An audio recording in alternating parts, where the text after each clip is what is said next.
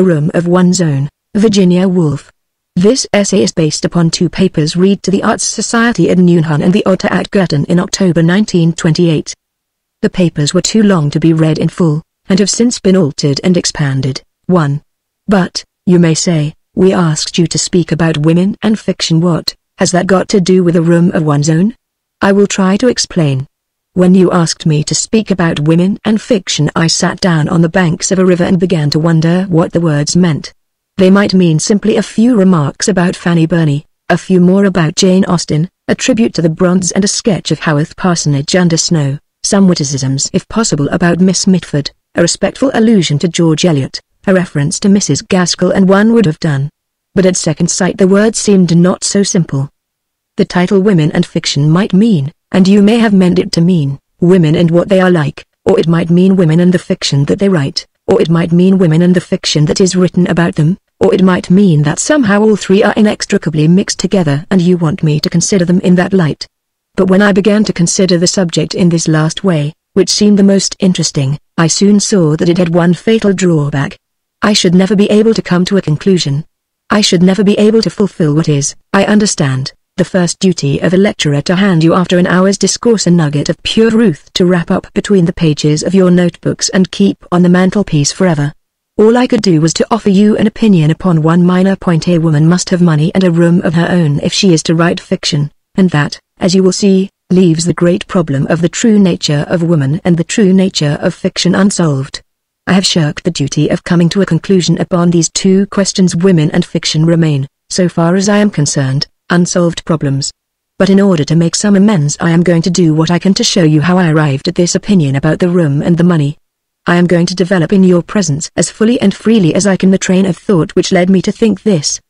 Perhaps if I lay bare the ideas, the prejudices, that lie behind this statement you will find that they have some bearing upon women and some upon fiction. At any rate, when a subject is highly controversial and any question about sex is that one cannot hope to tell the truth, one can only show how one came to hold whatever opinion one does hold. One can only give one's audience the chance of drawing their own conclusions as they observe the limitations, the prejudices, the idiosyncrasies of the speaker. Fiction here is likely to contain more truth than fact. Therefore I propose, making use of all the liberties and licenses of a novelist, to tell you the story of the two days that preceded my coming here how, bowed down by the weight of the subject which you have laid upon my shoulders, I pondered it, and made it work in and out of my daily life. I need not say that what I am about to describe has no existence, Oxbridge is an invention, so is Fernham, I is only a convenient term for somebody who has no real being. Lies will flow from my lips, but there may perhaps be some truth mixed up with them, it is for you to seek out this truth and to decide whether any part of it is worth keeping. If not, you will of course throw the whole of it into the waste paper basket and forget all about it. Here then was I, call me Mary Beton, Mary Seton, Mary Carmichael or by any name you please it is not a matter of any importance, sitting on the banks of a river a week or two ago in fine October weather, lost in thought. That collar I have spoken of, women and fiction, the need of coming to some conclusion on a subject that raises all sorts of prejudices and passions, bowed my head to the ground. To the right and left bushes of some sort, golden and crimson, glowed with the color, even it seemed burnt with the heat, of fire. On the further bank the willows wept in perpetual lamentation, their hair about their shoulders. The river reflected whatever it chose of sky and bridge and burning tree, and when the undergraduate had oared his boat through the reflections they closed again, completely, as if he had never been. There one might have set the clock round lost in thought. Thought to call it by a prouder name than it deserved had let its line down into the stream. It swayed, minute after minute, hither and thither among the reflections and the weeds, letting the water lift it and sink it until you know the little tug the sudden conglomeration of an idea at the end of one's line, and then the cautious hauling of it in, and the careful laying of it out. Alas, laid on the grass how small, how insignificant this thought of mine looked, the sort of fish that a good fisherman puts back into the water so that it may grow fatter and be one day worth cooking and eating. I will not trouble you with that thought now, though if you look carefully you may find it for yourselves in the course of what I am going to say. But however small it was, it had, nevertheless, the mysterious property of its kind put back into the mind. It became at once very exciting, and important, and as it darted and sank, and flashed hither and thither, set up such a wash and tumult of ideas that it was impossible to sit still. It was thus that I found myself walking with extreme rapidity across a grass plot. Instantly a man's figure rose to intercept me. Nor did I at first understand that the gesticulations of a curious-looking object, in a cutaway coat and evening shirt, were aimed at me. His face expressed horror and indignation. Instinct rather than reason came to my help. He was a beadle, I was a woman. This was the turf, there was the path. Only the fellows and scholars are allowed here, the gravel is the place for me. Such thoughts were the work of a moment. As I regained the path the arms of the beadle sank, his face assumed its usual repose, and though turf is better walking than gravel, no very great harm was done. The only charge I could bring against the fellows and scholars of whatever the college might happen to be was that in protection of their turf, which has been rolled for 300 years in succession they had sent my little fish into hiding. What idea it had been that had sent me so audaciously trespassing I could not now remember. The spirit of peace descended like a cloud from heaven, for if the spirit of peace dwells anywhere, it is in the courts and quadrangles of Oxbridge on a fine October morning. Strolling through those colleges past those ancient halls the roughness of the present seemed smoothed away. The body seemed contained in a miraculous glass cabinet through which no sound could penetrate, and the mind, freed from any contact with facts, unless one trespassed on the turf again, was at liberty to settle down upon whatever meditation was in harmony with the moment. As chance would have it, some stray memory of some old essay about revisiting Oxbridge in the long vacation brought Charles Lamb to mind St. Charles, said Thackeray, putting a letter of Lamb's to his forehead. Indeed, among all the dead, I give you my thoughts as they came to me. Lamb is one of the most congenial, one to whom one would have liked to say, tell me then how you wrote your essays. For his essays are superior even to Max Beerbohm's, I thought, with all their perfection, because of that wild flash of imagination, that lightning crack of genius in the middle of them which leaves them flawed and imperfect, but starred with poetry. Lamb then came to Oxbridge perhaps a hundred years ago. Certainly he wrote an essay the name escapes me about the manuscript of one of Milton's poems which he saw here. It was Lycidas perhaps, and Lamb wrote how it shocked him to think it possible that any word in Lycidas could have been different from what it is. To think of Milton changing the words in that poem seemed to him a sort of sacrilege. This led me to remember what I could of Lycidas and to amuse myself with guessing which word it could have been that Milton had altered, and why. It then occurred to me that the very manuscript itself which Lamb had looked at was only a few hundred yards away, so that one could follow Lamb's footsteps across the quadrangle to that famous library where the treasure is kept. Moreover, I recollected, as I put this plan into execution, it is in this famous library that the manuscript of Thackeray's Esmond is also preserved. The critics often say that Esmond is Thackeray's most perfect novel. But the affectation of the style, with its imitation of the 18th century, hampers one, so far as I can remember, unless indeed the 18th century style was natural to Thackeray a fact that one might prove by looking at the manuscript and seeing whether the alterations were for the benefit of the style or of the sense. But then one would have to decide what is style and what is meaning, a question which but here I was actually at the door which leads into the library itself. I must have opened it, for instantly there issued, like a guardian angel barring the way with a flutter of black gown instead of white wings, a deprecating, silvery, kindly gentleman, who regretted in a low voice as he waved me back that ladies are only admitted to the library if accompanied by a fellow of the college or furnished with a letter of introduction. That a famous library has been cursed by a woman is a matter of complete indifference to a famous library. Venerable and calm, with all its treasures safe locked within its breast, it sleeps complacently and will, so far as I am concerned, so sleep forever. Never will I wake those echoes, never will I ask for that hospitality again, I vowed as I descended the steps in anger. Still an hour remained before luncheon, and what was one to do? Stroll on the meadows? Sit by the river? Certainly it was a lovely autumn morning, the leaves were fluttering red to the ground, there was no great hardship in doing either. But the sound of music reached my ear. Some service or celebration was going forward. The organ complained magnificently as I passed the chapel door. Even the sorrow of Christianity sounded in that serene air more like the recollection of sorrow than sorrow itself, even the groanings of the ancient organ seemed lapped in peace. I had no wish to enter had I the right, and this time the verger might have stopped me, demanding perhaps my baptismal certificate, or a letter of introduction from the dean. But the outside of these magnificent buildings is often as beautiful as the inside. Moreover, it was amusing enough to watch the congregation assembling, coming in and going out again, busying themselves at the door of the chapel like bees at the mouth of a hive. Many were in cap and gown, some had tufts of fur on their shoulders, others were wheeled in bath chairs, others, though not past middle age, seemed creased and crushed into shapes so singular that one was reminded of those giant crabs and crayfish who heave with difficulty across the sand of an aquarium. As I leant against the wall the university indeed seemed a sanctuary in which are preserved rare types which would soon be obsolete if left to fight for existence on the pavement of the Strand.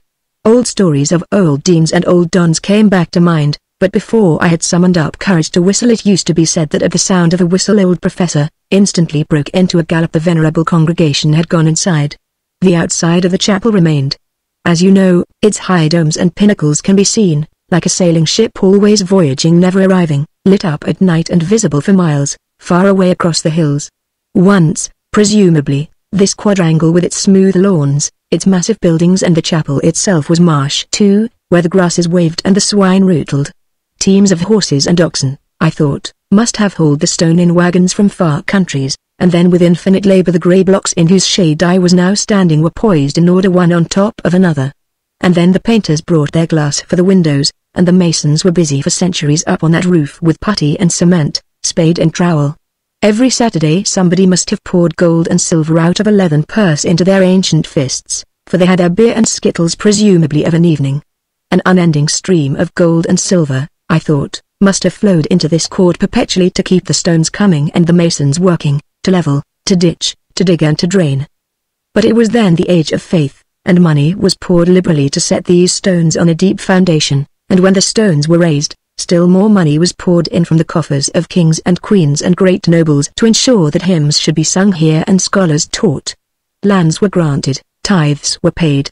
And when the age of faith was over and the age of reason had come, Still the same flow of gold and silver went on, fellowships were founded, lectureships endowed, only the gold and silver flowed now, not from the coffers of the king, but from the chests of merchants and manufacturers, from the purses of men who had made, say, a fortune from industry, and returned, in their wills, a bounteous share of it to endow more chairs, more lectureships, more fellowships in the university where they had learnt their craft. Hence the libraries and laboratories, the observatories, the splendid equipment of costly and delicate instruments which now stands on glass shelves, where centuries ago the grasses waved and the swine rootled. Certainly, as I strolled round the court, the foundation of gold and silver seemed deep enough, the pavement laid solidly over the wild grasses. Men with trays on their heads went busily from staircase to staircase. Gaudy blossoms flowered in window boxes. The strains of the gramophone blared out from the rooms within. It was impossible not to reflect the reflection whatever it may have been was cut short. The clock struck. It was time to find one's way to luncheon. It is a curious fact that novelists have a way of making us believe that luncheon parties are invariably memorable for something very witty that was said, or for something very wise that was done. But they seldom spare a word for what was eaten. It is part of the novelist's convention not to mention soup and salmon and ducklings, as if soup and salmon and ducklings were of no importance whatsoever, as if nobody ever smoked a cigar or drank a glass of wine. Here, however, I shall take the liberty to defy that convention and to tell you that the lunch on this occasion began with soles, sunk in a deep dish, over which the college cook had spread a counterpane of the whitest cream, save that it was branded here and there with brown spots like the spots on the flanks of a doe. After that came the partridges, but if this suggests a couple of bald, brown birds on a plate you are mistaken. The partridges, many and various, came with all their retinue of sauces and salads, the sharp and the sweet, each in its order, their potatoes, thin as coins but not so hard, their sprouts, foliated as rosebuds but more succulent. And no sooner had the roast and its retinue been done with than a silent servingman, the beadle himself perhaps in a milder manifestation, set before us, wreathed in napkins, a confection which rose all sugar from the waves.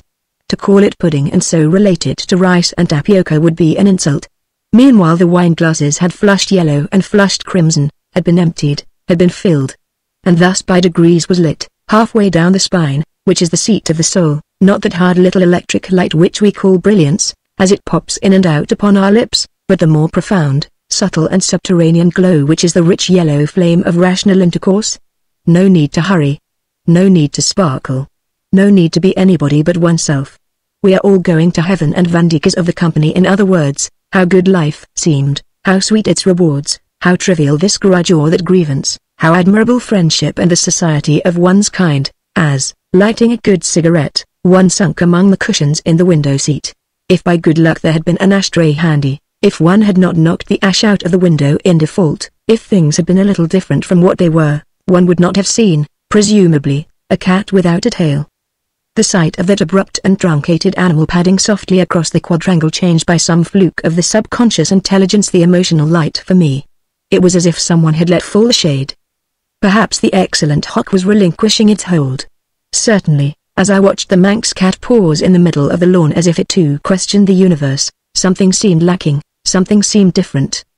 But what was lacking, what was different, I asked myself, listening to the talk.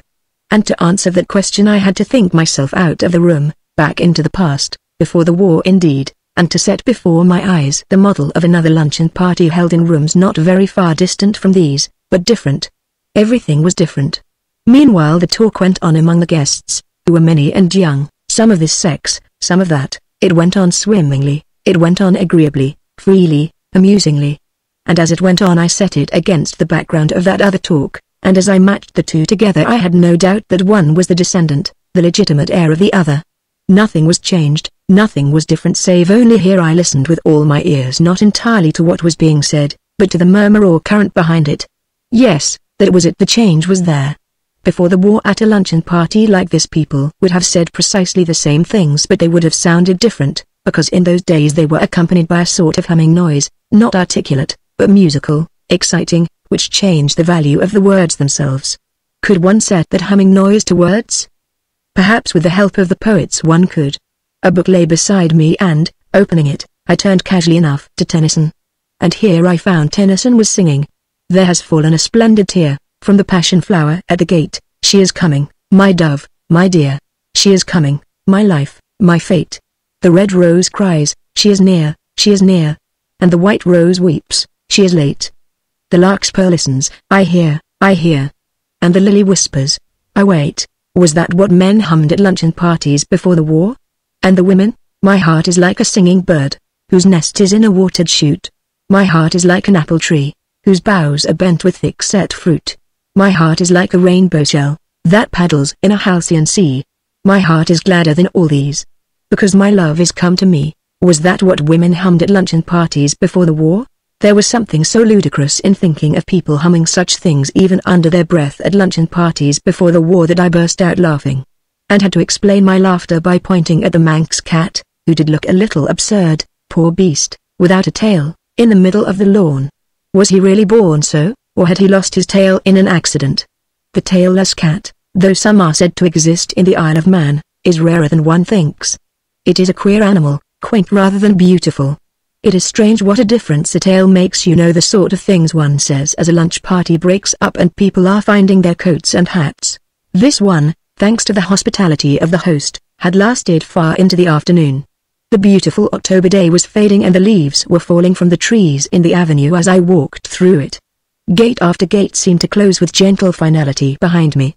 Innumerable beadles were fitting innumerable keys into well-oiled locks. The treasure house was being made secure for another night. After the avenue one comes out upon a road I forget its name which leads you, if you take the right turning, along to Fernham. But there was plenty of time. Dinner was not till half past seven. One could almost do without dinner after such a luncheon. It is strange how a scrap of poetry works in the mind and makes the legs move in time to it along the road. Those words, there has fallen a splendid tear, from the passion flower at the gate, she is coming, my dove, my dear sang in my blood as I stepped quickly along towards Headingley. And then, switching off into the other measure, I sang, where the waters are churned up by the weir. My heart is like a singing bird, whose nest is in a watered shoot. My heart is like an apple tree. What poets, I cried aloud, as one does in the dusk, what poets they were. In a sort of jealousy, I suppose, for our own age, silly and absurd through these comparisons are, I went on to wonder if honestly one could name two living poets now as great as Tennyson and Christina Rossetti were then. Obviously it is impossible, I thought, looking into those foaming waters, to compare them.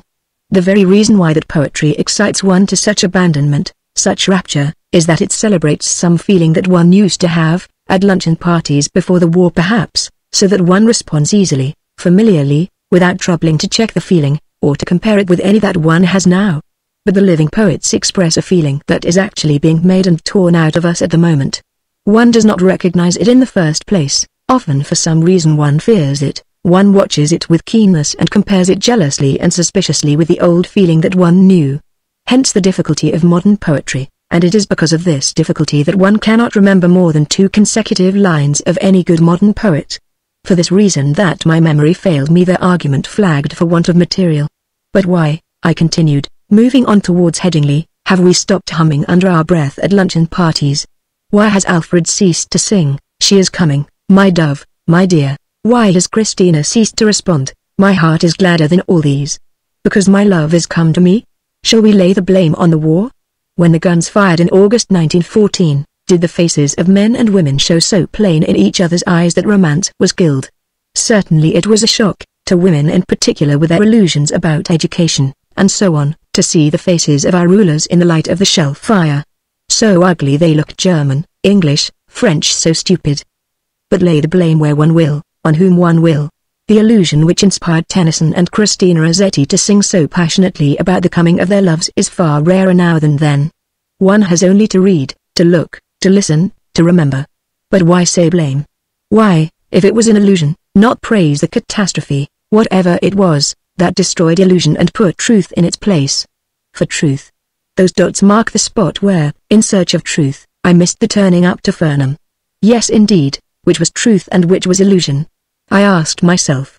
What was the truth about these houses, for example, dim and festive now with their red windows in the dusk, but raw and red and squalid, with their sweets and their bootlaces, at nine o'clock in the morning? And the willows and the river and the gardens that run down to the river, vague now with the mist stealing over them, but gold and red in the sunlight which was the truth, which was the illusion about them. I spare you the twists and turns of my cogitations, for no conclusion was found on the road to Headingley, and I ask you to suppose that I soon found out my mistake about the turning and retraced my steps to Fernham. As I have said already that it was an October day, I dare not forfeit your respect and imperil the fair name of fiction by changing the season and describing much lilacs hanging over garden walls, crocuses, tulips and other flowers of spring. Fiction must stick to facts and the truer the facts the better the fiction so we are told. Therefore it was still autumn and the leaves were still yellow and falling, if anything, a little faster than before, because it was now evening, 7.23 to be precise, and a breeze, from the southwest to be exact, had risen. But for all that there was something odd at work. My heart is like a singing bird, whose nest is in a watered shoot. My heart is like an apple tree, whose boughs are bent with thick-set fruit. Perhaps the words of Christina Rossetti were partly responsible for the folly of the fancy it was nothing of course but a fancy that the lilac was shaking its flowers over the garden walls, and the brimstone butterflies were scudding hither and thither, and the dust of the pollen was in the air. A wind blew, from what quarter I know not, but it lifted the half-grown leaves so that there was a flash of silver grey in the air. It was the time between the lights when colors undergo their intensification and purples and golds burn in window panes like the beat of an excitable heart when for some reason the beauty of the world revealed and yet soon to perish, here I pushed into the garden, for, unwisely, the door was left open and no beadles seemed about. The beauty of the world which is so soon to perish, has two edges, one of laughter, one of anguish, cutting the heart asunder.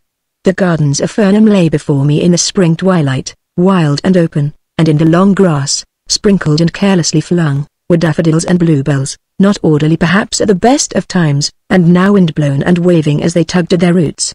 The windows of the building, curved like ship's windows among generous waves of red brick, changed from lemon to silver under the flight of the quick spring clouds. Somebody was in a hammock, somebody, but in this light they were phantoms only, half guessed, half seen, raced across the grass would no one stop a question mark and then on the terrace, as if popping out to breathe the air, to glance at the garden, came a bent figure, formidable yet humble, with her great forehead and her shabby dress could it be the famous scholar, could it be J.H. herself? All was dim, yet intense too, as if the scarf which the dusk had flung over the garden were torn asunder by star or sword the gash of some terrible reality leaping, as its way is, out of the heart of the spring. For youth. Here was my soup. Dinner was being served in the great dining hall. Far from being spring it was in fact an evening in October. Everybody was assembled in the big dining room. Dinner was ready. Here was the soup. It was a plain gravy soup. There was nothing to stir the fancy in that. One could have seen through the transparent liquid any pattern that there might have been on the plate itself. But there was no pattern. The plate was plain. Next came beef with its attendant greens and potatoes a homely trinity, suggesting the rumps of cattle in a muddy market, and sprouts curled and yellowed at the edge, and bargaining and cheapening and women with string bags on Monday morning. There was no reason to complain of human nature's daily food, seeing that the supply was sufficient and coal miners doubtless were sitting down to less. Prunes and custard followed. And if anyone complains that prunes, even when mitigated by custard, are an uncharitable vegetable, fruit they are not, stringy as a miser's heart and exuding a fluid such as might run in miser's veins who have denied themselves wine and warmth for eighty years and yet not given to the poor, he should reflect that there are people whose charity embraces even the prune. Biscuits and cheese came next, and here the water jug was liberally passed round, for it is the nature of biscuits to be dry, and these were biscuits to the core. That was all. The meal was over. Everybody scraped their chairs back, the swing doors swung violently to and fro, soon the hall was emptied of every sign of food and made ready no doubt for breakfast next morning. Down corridors and up staircases the youth of England went banging and singing. And was it for a guest, a stranger, for I had no more right here in Fernham than in Trinity or Somerville or Girton or Newnham or Christ Church, to say, the dinner was not good, or to say, we were now, Mary Seton and I, in her sitting room, could we not have dined up here alone? For if I had said anything of the kind I should have been prying and searching into the secret economies of a house which to the stranger wears so fine a front of gaiety and courage. No, one could say nothing of the sort. Indeed, conversation for a moment flagged. The human frame being what it is, heart, body and brain all mixed together, and not contained in separate compartments as they will be no doubt in another million years, a good dinner is of great importance to good talk. One cannot think well, love well, sleep well, if one has not dined well. The lamp in the spine does not light on beef and prunes. We are all probably going to heaven, and Van Dyck is, we hope, to meet us round the next corner that is the dubious and qualifying state of mind that beef and prunes at the end of the day's work breed between them. Happily my friend, who taught science, had a cupboard where there was a squat bottle and little glasses but there should have been sole and partridge to begin with so that we were able to draw up to the fire and repair some of the damages of the day's living. In a minute or so we were slipping freely in and out among all those objects of curiosity and interest which form in a mind in the absence of a particular person, and are naturally to be discussed on coming together again. How somebody has married, another has not, one thinks this, another that, one has improved out of all knowledge, the other most amazingly gone to the bad with all those speculations upon human nature and the character of the amazing world we live in which spring naturally from such beginnings.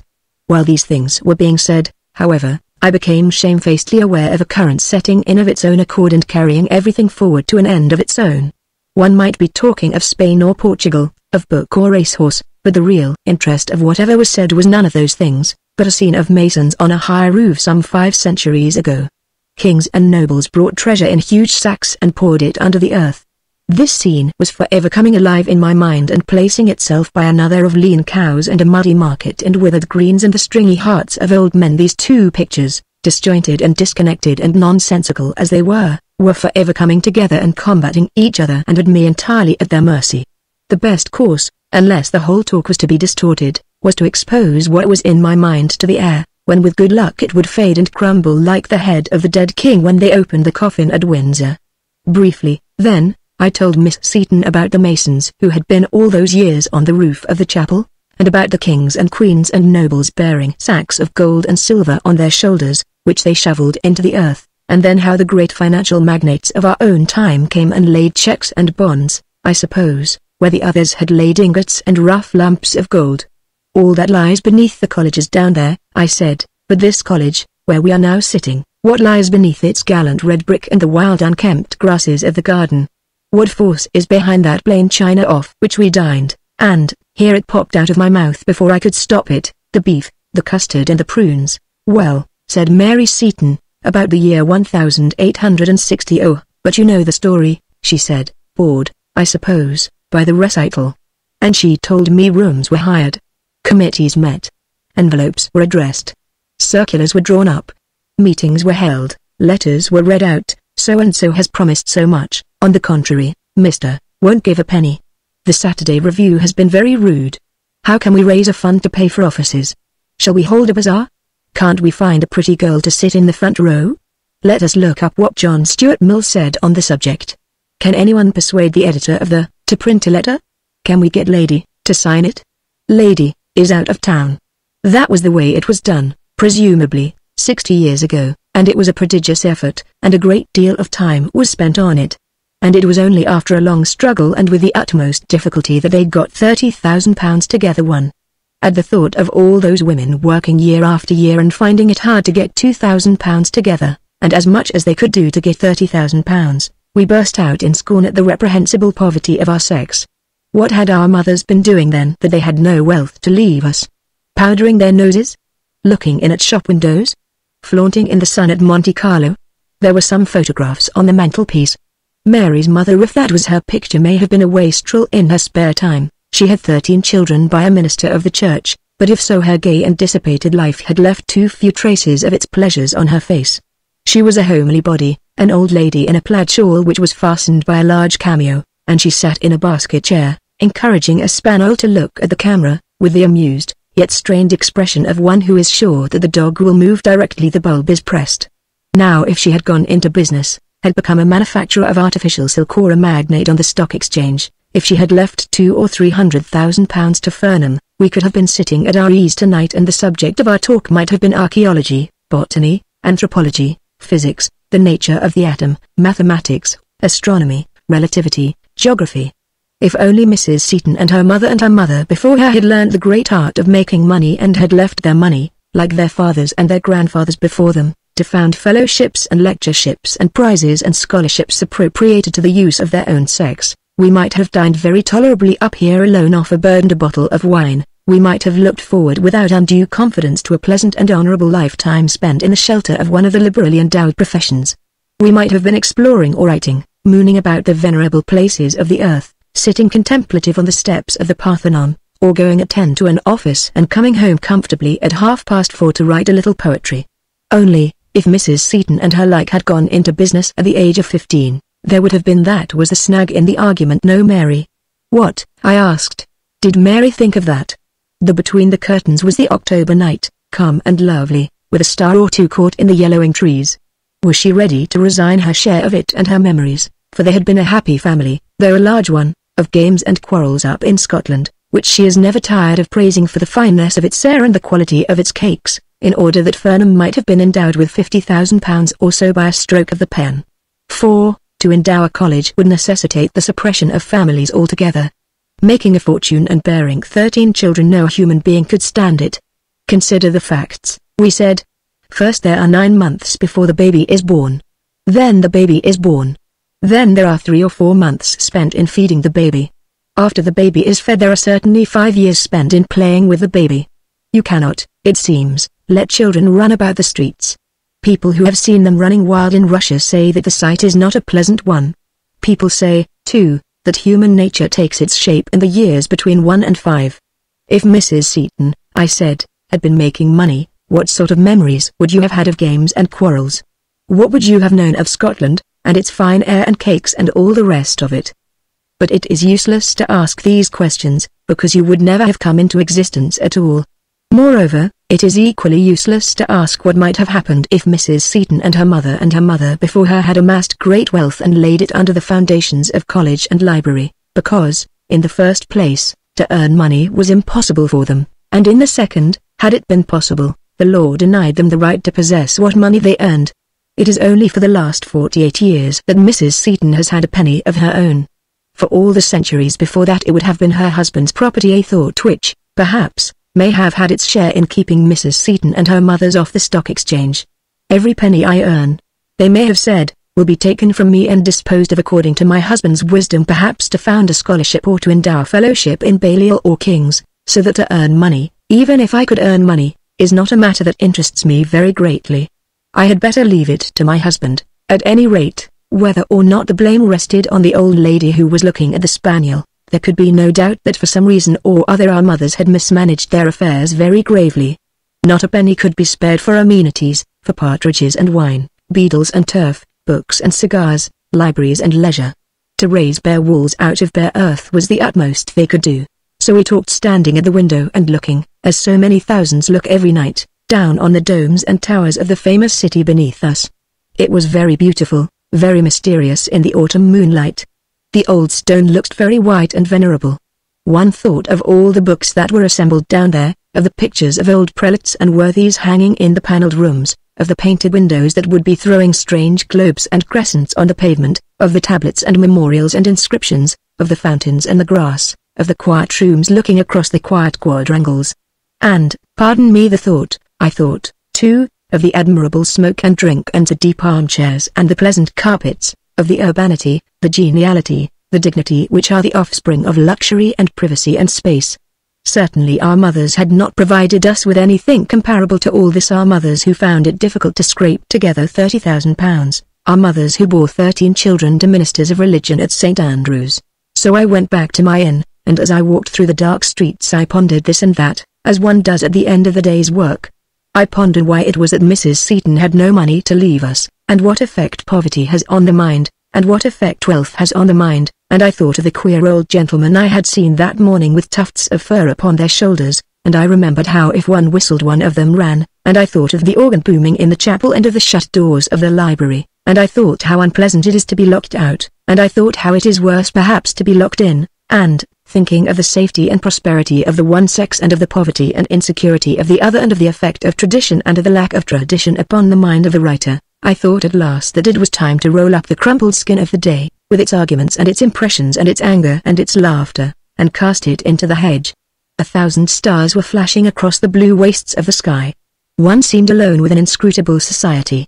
All human beings were laid asleep prone, horizontal, dumb. Nobody seemed stirring in the streets of Oxbridge.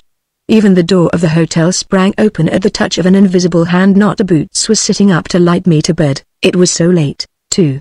The scene, if I may ask you to follow me, was now changed. The leaves were still falling, but in London now, not Oxbridge, and I must ask you to imagine a room, like many thousands, with a window looking across people's hats and vans and the motor cars to other windows, and on the table inside the room a blank sheet of paper on which was written in large letters women and fiction, but no more. The inevitable sequel to lunching and dining at Oxbridge seemed, unfortunately, to be a visit to the British Museum, one must strain off what was personal and accidental in all these impressions and so reach the pure fluid, the essential oil of truth. For that visit to Oxbridge and the luncheon and the dinner had started a swarm of questions. Why did men drink wine and women water? Why was one sex so prosperous and the other so poor? What effect has poverty on fiction?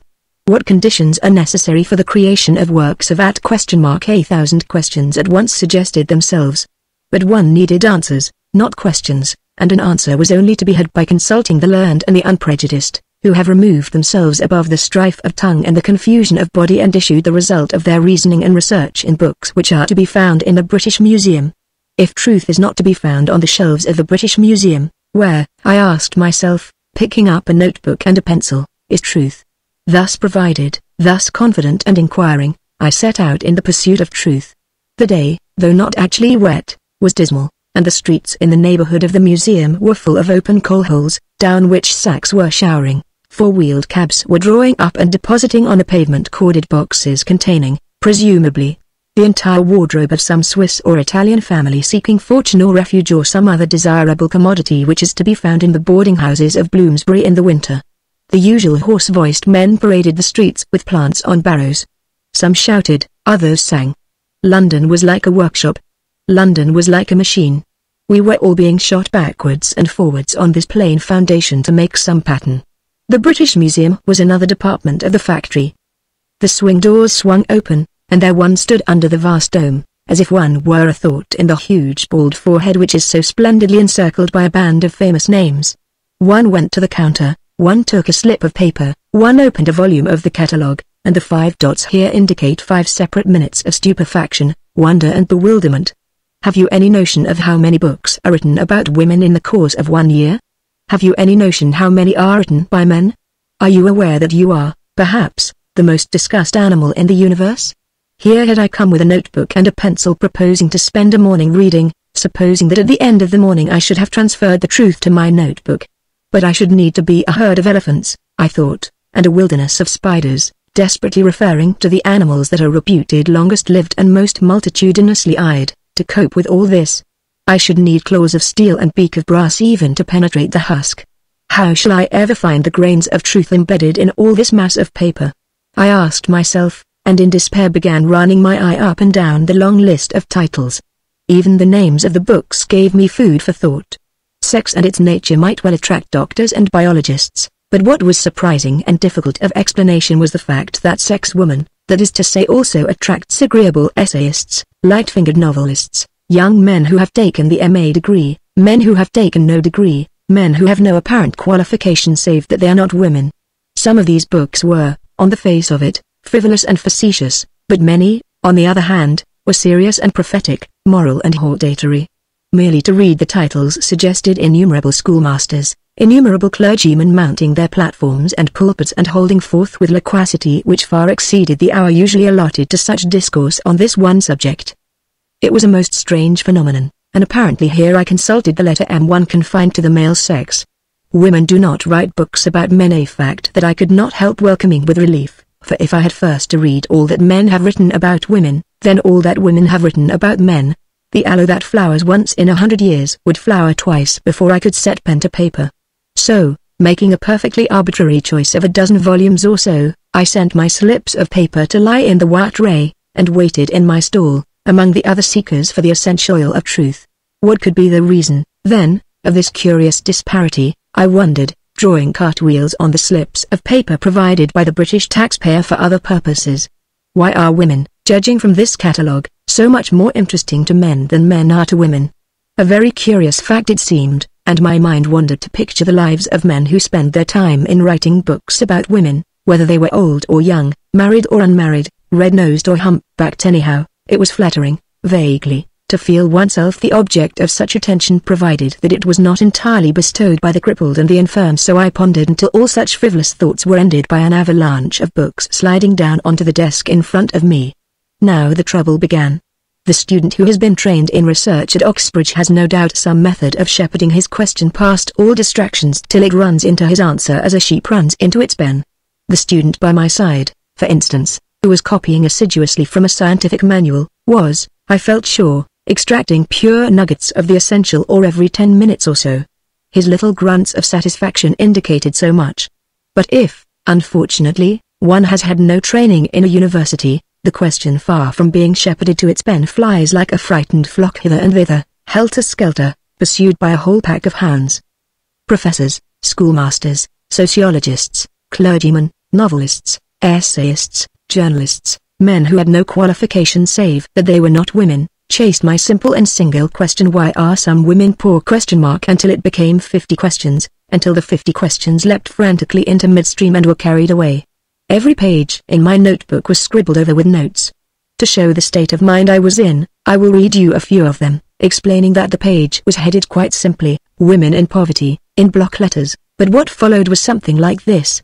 Condition in Middle Ages of, habits in the Fiji Islands of, worshipped as goddesses by, weaker in moral sense than, idealism of, greater conscientiousness of, South Sea Islanders, age of puberty among, attractiveness of, offered as sacrifice to, small size of brain of, profounder subconsciousness of, less hair on the body of, mental, moral and physical inferiority of, love of children of, greater length of life of, weaker muscles of, strength of affections of, vanity of, higher education of, Shakespeare's opinion of, Lord Birkenhead's opinion of, Dean Inge's opinion of, La Bruyere's opinion of, Dr. Johnson's opinion of, Mr. Oscar Browning's opinion of, here I drew breath and added, indeed, in the margin, why does Samuel Butler say, wise men never say what they think of women?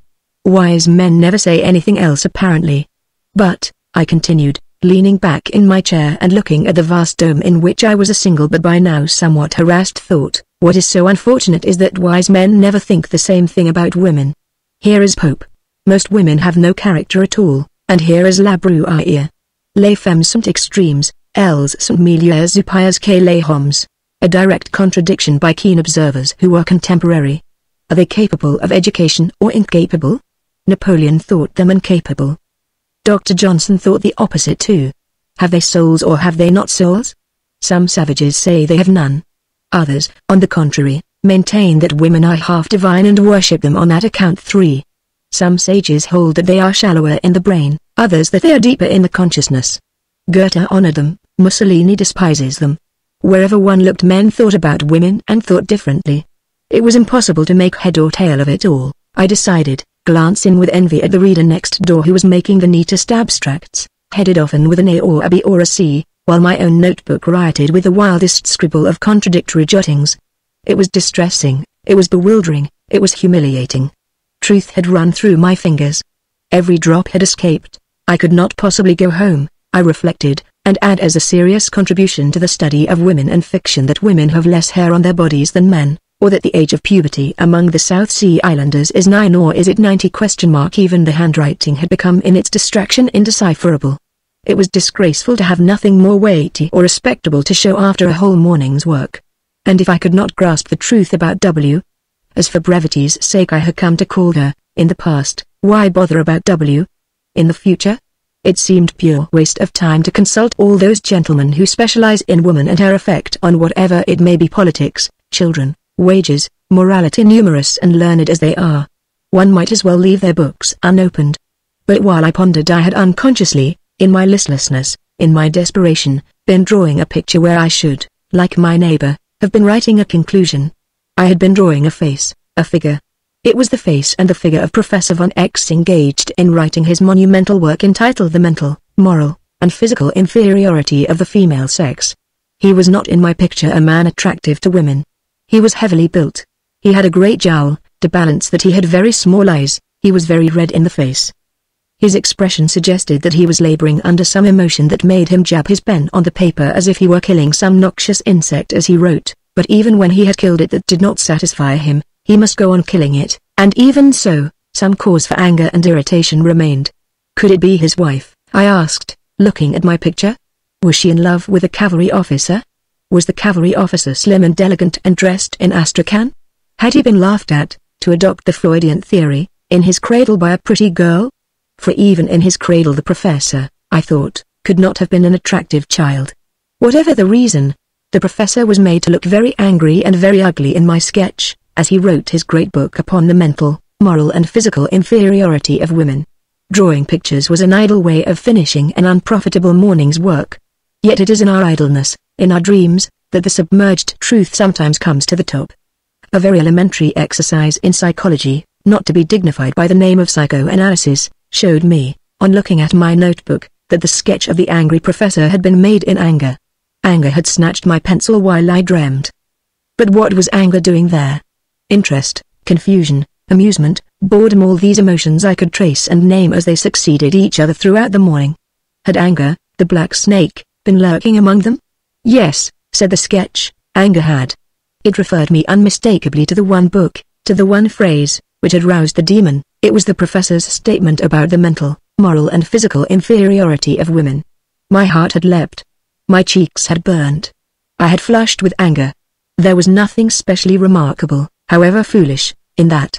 One does not like to be told that one is naturally the inferior of a little man I looked at the student next me who breathes hard, wears a ready-made tie, and has not shaved this fortnight.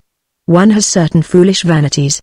It is only human nature, I reflected, and began drawing cartwheels and circles over the angry professor's face till he looked like a burning bush or a flaming comet anyhow, an apparition without human semblance or significance. The professor was nothing now but a faggot burning on the top of Hampstead Heath. Soon my own anger was explained and done with, but curiosity remained. How explain the anger of the professors? Why were they angry? For when it came to analyzing the impression left by these books there was always an element of heat. This heat took many forms, it showed itself in satire, in sentiment, in curiosity, in reprobation. But there was another element which was often present and could not immediately be identified. Anger, I called it, but it was anger that had gone underground and mixed itself with all kinds of other emotions. To judge from its odd effects, it was anger disguised and complex, not anger simple and open. Whatever the reason, all these books, I thought, surveying the pile on the desk, are worthless for my purposes. They were worthless scientifically, that is to say, though humanly they were full of instruction, interest, boredom, and very queer facts about the habits of the Fiji Islanders. They had been written in the red light of emotion and not in the white light of truth. Therefore they must be returned to the central desk and restored each to his own cell in the enormous honeycomb. All that I had retrieved from that morning's work had been the one fact of anger. The professors I lumped them together thus were angry. But why, I asked myself. Having returned the books, why, I repeated, standing under the colonnade among the pigeons and the prehistoric canoes, why are they angry? And, asking myself this question, I strolled off to find a place for luncheon. What is the real nature of what I call for the moment their anger? I asked.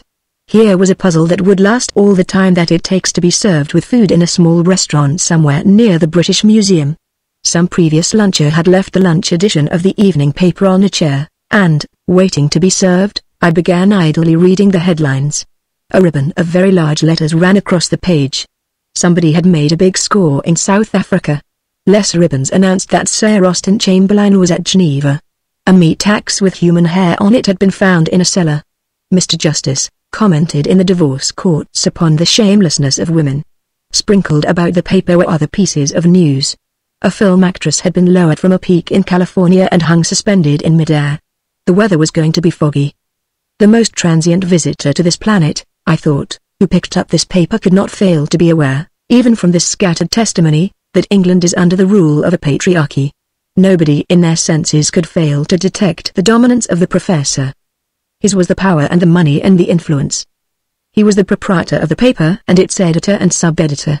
He was the foreign secretary and the judge. He was the cricketer, he owned the racehorses and the yachts. He was the director of the company that pays 200% to its shareholders. He left millions to charities and colleges that were ruled by himself.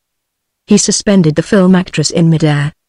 He will decide if the hair on the meat axe is human, he it is who will acquit or convict the murderer, and hang him, or let him go free.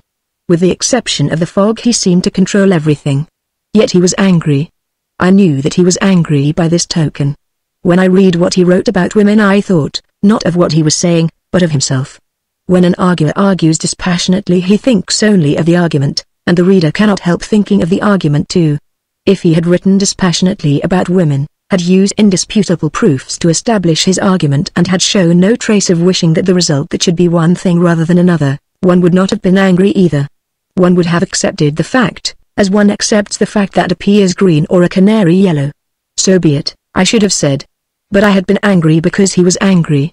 Yet it seemed absurd, I thought, turning over the evening paper, that a man with all this power should be angry. Or is anger, I wondered, somehow, the familiar, the attendant sprite on power? Rich people, for example, are often angry because they suspect that the poor want to seize their wealth. The professors, or patriarchs, as it might be more accurate to call them, might be angry for that reason partly, but partly for one that lies a little less obviously on the surface. Possibly they were not angry at all, often, indeed. They were admiring, devoted, exemplary in the relations of private life. Possibly when the professor insisted a little too emphatically upon the inferiority of women. He was concerned not with their inferiority, but with his own superiority. That was what he was protecting rather hot-headedly and with too much emphasis, because it was a jewel to him of the rarest price. Life for both sexes and I looked at them, shouldering their way along the pavement is arduous, difficult, a perpetual struggle. It calls for gigantic courage and strength. More than anything, perhaps, creatures of illusion as we are, it calls for confidence in oneself. Without self-confidence we are as babes in the cradle. And how can we generate this imponderable quality, which is yet so invaluable, most quickly? By thinking that other people are inferior to oneself. By feeling that one has some innate superiority it may be wealth, or rank, a straight nose, or the portrait of a grandfather by Romney for there is no end to the pathetic devices of the human imagination over other people. Hence the enormous importance to a patriarch who has to conquer, who has to rule, of feeling that great numbers of people, half the human race indeed, are by nature inferior to himself. It must indeed be one of the chief sources of his power. But let me turn the light of this observation onto real life, I thought. Does it help to explain some of those psychological puzzles that one notes in the margin of daily life? Does it explain my astonishment of the other day when Zed, most humane, most modest of men, taking up some book by Rebecca West and reading a passage in it, exclaimed, the arrant feminist. She says that men are snobs. The exclamation, to me so surprising for why was Miss West an arrant feminist for making a possibly true if uncomplimentary statement about the other sex question mark was not merely the cry of wounded vanity. It was a protest against some infringement of his power to believe in himself. Women have served all these centuries as looking glasses possessing the magic and delicious power of reflecting the figure of man at twice its natural size. Without that power probably the earth would still be swamp and jungle. The glories of all our wars would be unknown. we should still be scratching the outlines of deer on the remains of mutton bones and bartering flints for sheepskins or whatever simple ornament took our unsophisticated taste. Supermen and fingers of destiny would never have existed. The Tsar and the Kaiser would never have worn crowns or lost them. Whatever may be their use in civilized societies, mirrors are essential to all violent and heroic action. That is why Napoleon and the Mussolini both insist so emphatically upon the inferiority of women, for if they were not inferior, they would cease to enlarge. That serves to explain in part the necessity that women so often are to men. And it serves to explain how restless they are under her criticism, how impossible it is for her to say to them this book is bad, this picture is feeble, or whatever it may be, without giving far more pain and rousing far more anger than a man would do who gave the same criticism. For if she begins to tell the truth, the figure in the looking glass shrinks, his fitness for life is diminished. How is he to go on giving judgment, civilizing natives, making laws, writing books, dressing up and speechifying at banquets, unless he can see himself at breakfast and at dinner at least twice the size he really is? So I reflected, grumbling my bread and stirring my coffee and now and again looking at the people in the street. The looking glass vision is of supreme importance because it charges the vitality, it stimulates the nervous system, Take it away and man may die, like the drug fiend deprived of his cocaine. Under the spell of that illusion, I thought, looking out of the window, half the people on the pavement are striding to work. They put on their hats and coats in the morning under its agreeable rays. They start the day confident, braced, believing themselves desired at Miss Smith's tea party. They say to themselves as they go into the room, I am the superior of half the people here, and it is thus that they speak with that self-confidence, that self-assurance, which have had such profound consequences in public life and lead to such curious notes in the margin of the private mind. But these contributions to the dangerous and fascinating subject of the psychology of the other sex it is one, I hope, that you will investigate when you have 500 a year of your own were interrupted by the necessity of paying the bill. It came to five shillings and ninepence. I gave the waiter a ten shilling note and he went to bring me change. There was another ten shilling note in my purse, I noticed it because it is a fact that still takes my breath away the power of my purse to breed 10 shilling notes automatically. I open it and there they are. Society gives me chicken and coffee, bed and lodging, in return for a certain number of pieces of paper which were left me by an aunt, for no other reason than that I share her name. My aunt, Mary Beton, I must tell you, died by a fall from her horse when she was riding out to take the air in Bombay.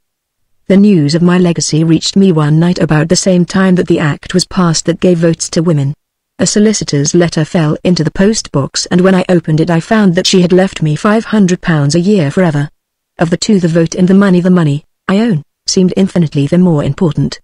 Before that I had made my living by cadging odd jobs from newspapers, by reporting a donkey show here or a wedding there. I had earned a few pounds by addressing envelopes, reading to old ladies, making artificial flowers, teaching the alphabet to small children in a kindergarten.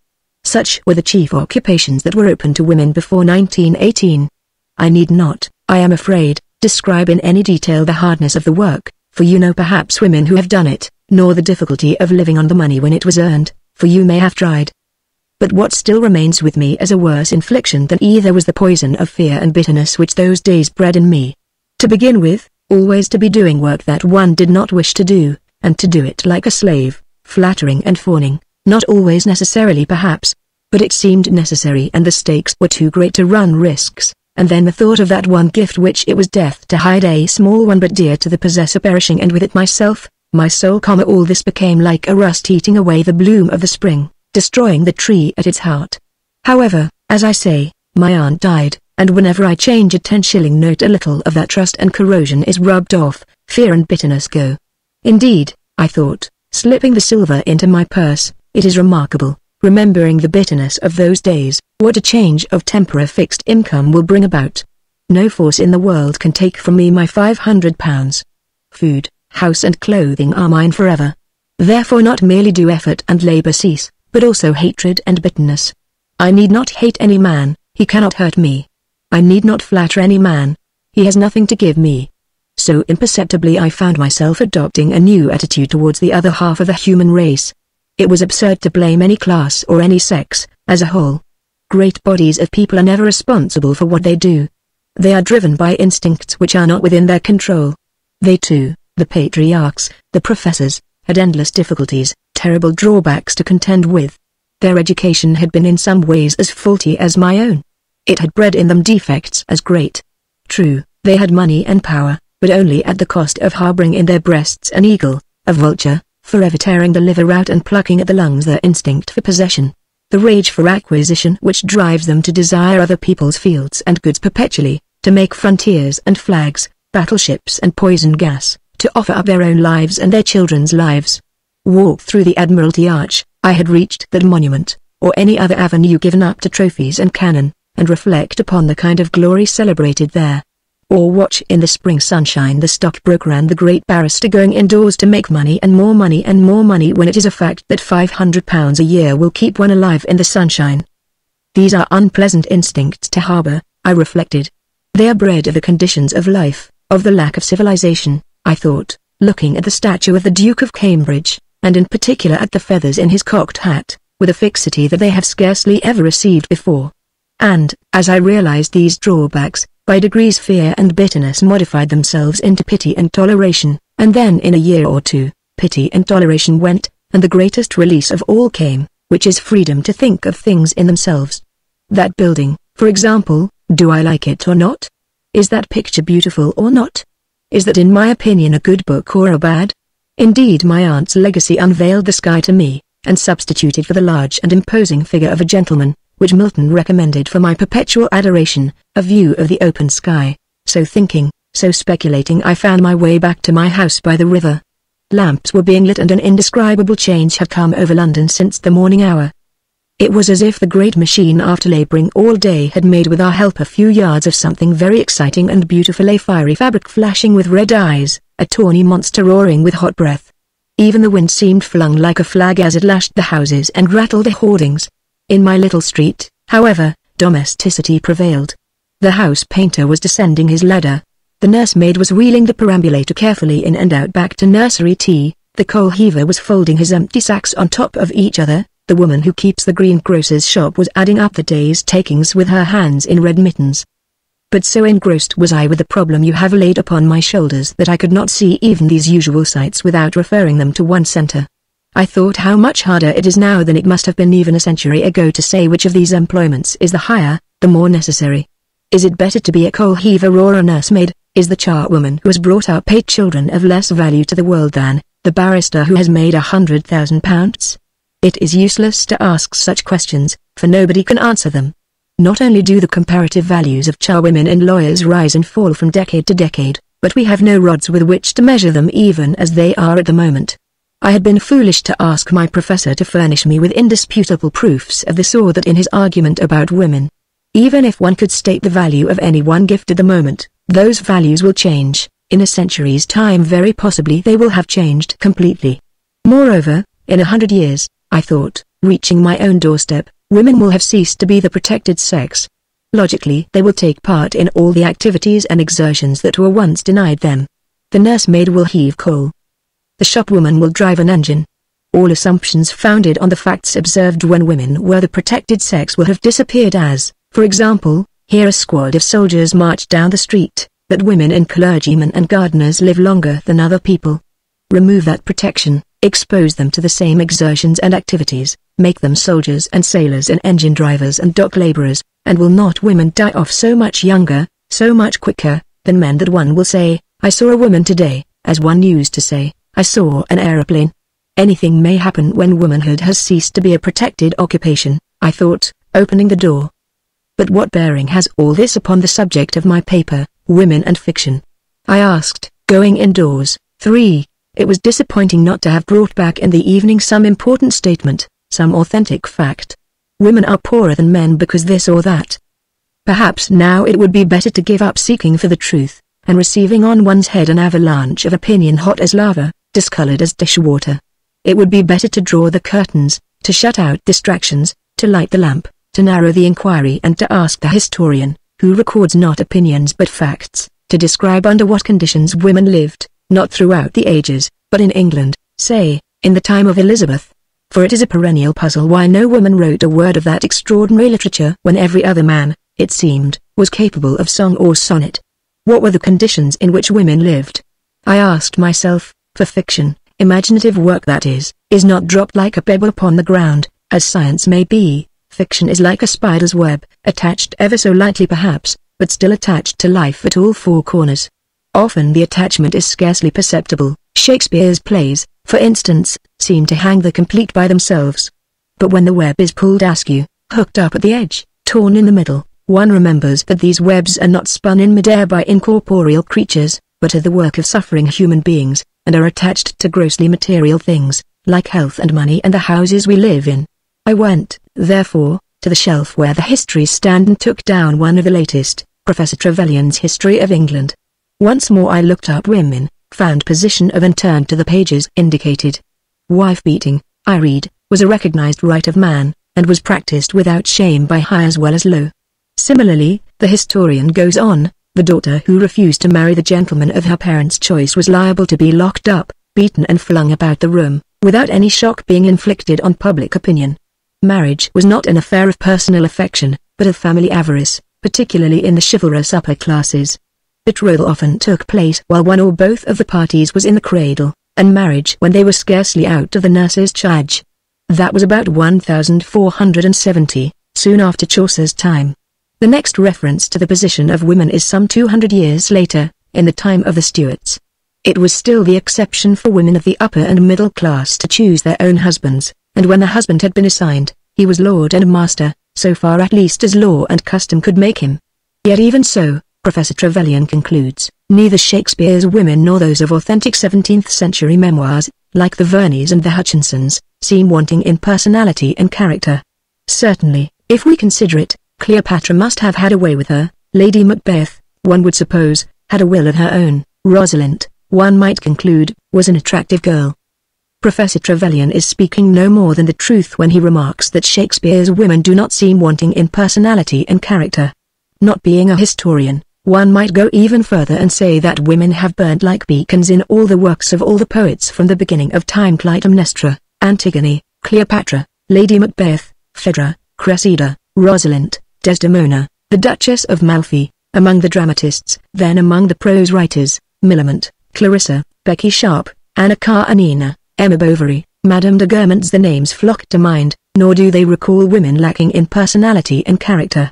Indeed, if woman had no existence save in the fiction written by men, one would imagine her a person of the utmost importance, very various, heroic and mean, splendid and sordid, infinitely beautiful and hideous in the extreme, as great as a man, some think even greater for.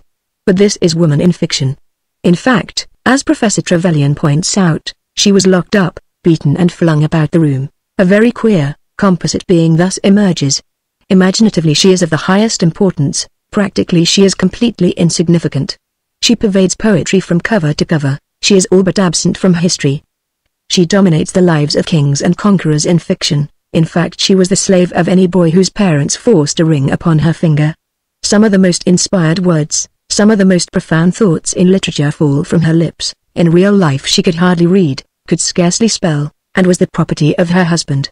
It was certainly an odd monster that one made up by reading the historians first and the poets afterwards a worm winged like an eagle, the spirit of life and beauty in a kitchen chopping up suet. But these monsters, however amusing to the imagination, have no existence in fact.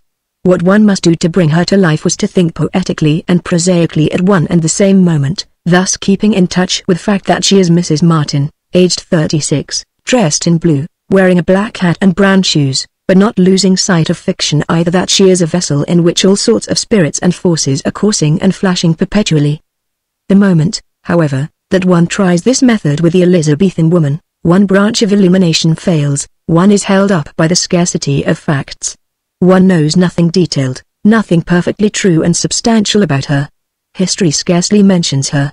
And I turned to Professor Trevelyan again to see what history meant to him.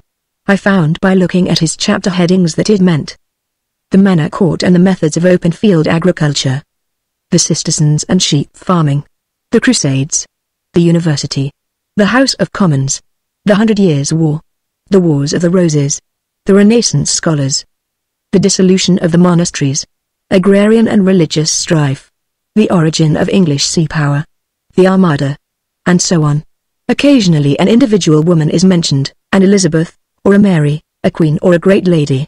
but by no possible means could middle-class women with nothing but brains and character at their command have taken part in any one of the great movements which, brought together, constitute the historian's view of the past. Nor shall we find her in collection of anecdotes. Aubrey hardly mentions her. She never writes her own life and scarcely keeps a diary, there are only a handful of her letters in existence. She left no plays or poems by which we can judge her. What one wants, I thought and why does not some brilliant student at Newnham or Girton supply it? Question mark is a mass of information, at what age did she marry, how many children had she as a rule, what was her house like, had she a room to herself, did she do the cooking, would she be likely to have a servant? All these facts lie somewhere, presumably, in parish registers and account books, the life of the average Elizabethan woman must be scattered about somewhere, could one collect it and make a book of it? It would be ambitious beyond my daring, I thought looking about the shelves for books that were not there, to suggest to the students of those famous colleges that they should rewrite history, though I own that it often seems a little queer as it is, unreal, lopsided, but why should they not add a supplement to history, calling it, of course, by some inconspicuous name so that women might figure there without impropriety? For one often catches a glimpse of them in the lives of the great, whisking away into the background, concealing, I sometimes think, a wink, a laugh, perhaps a tear. And, after all, we have lives enough of Jane Austen, it scarcely seems necessary to consider again the influence of the tragedies of Joanna Baillie upon the poetry of Edgar Allan Poe. As for myself, I should not mind if the homes and haunts of Mary Russell Mitford were closed to the public for a century at least. But what I find deplorable, I continued, looking about the bookshelves again, is that nothing is known about women before the 18th century. I have no model in my mind to turn about this way and that. Here am I asking why women did not write poetry in the Elizabethan age, and I am not sure how they were educated, whether they were taught to write, whether they had sitting rooms to themselves, how many women had children before they were 21, what, in short, they did from 8 in the morning till 8 at night. They had no money evidently, according to Professor Trevelyan they were married whether they liked it or not before they were out of the nursery, at 15 or 16 very likely. It would have been extremely odd, even upon this showing, had one of them suddenly written the plays of Shakespeare, I concluded, and I thought of that old gentleman, who is dead now, but it was a bishop, I think, who declared that it was impossible for any woman, past, present, or to come, to have the genius of Shakespeare. He wrote to the papers about it. He also told a lady who applied to him for information that cats do not as a matter of fact go to heaven, though they have. He added, souls of a sort. How much thinking those old gentlemen used to save one how the borders of ignorance shrank back at their approach. Cats do not go to heaven. Women cannot write the plays of Shakespeare. Be that as it may, I could not help thinking, as I looked at the works of Shakespeare on the shelf, that the bishop was right at least in this, it would have been impossible, completely and entirely, for any woman to have written the plays of Shakespeare in the age of Shakespeare. Let me imagine, since facts are so hard to come by, what would have happened had Shakespeare had a wonderfully gifted sister, called Judith, let us say, Shakespeare himself went, very probably comma his mother was an heiress to the grammar school, where he may have learnt Latin of Ovid, Virgil and Horace and the elements of grammar and logic.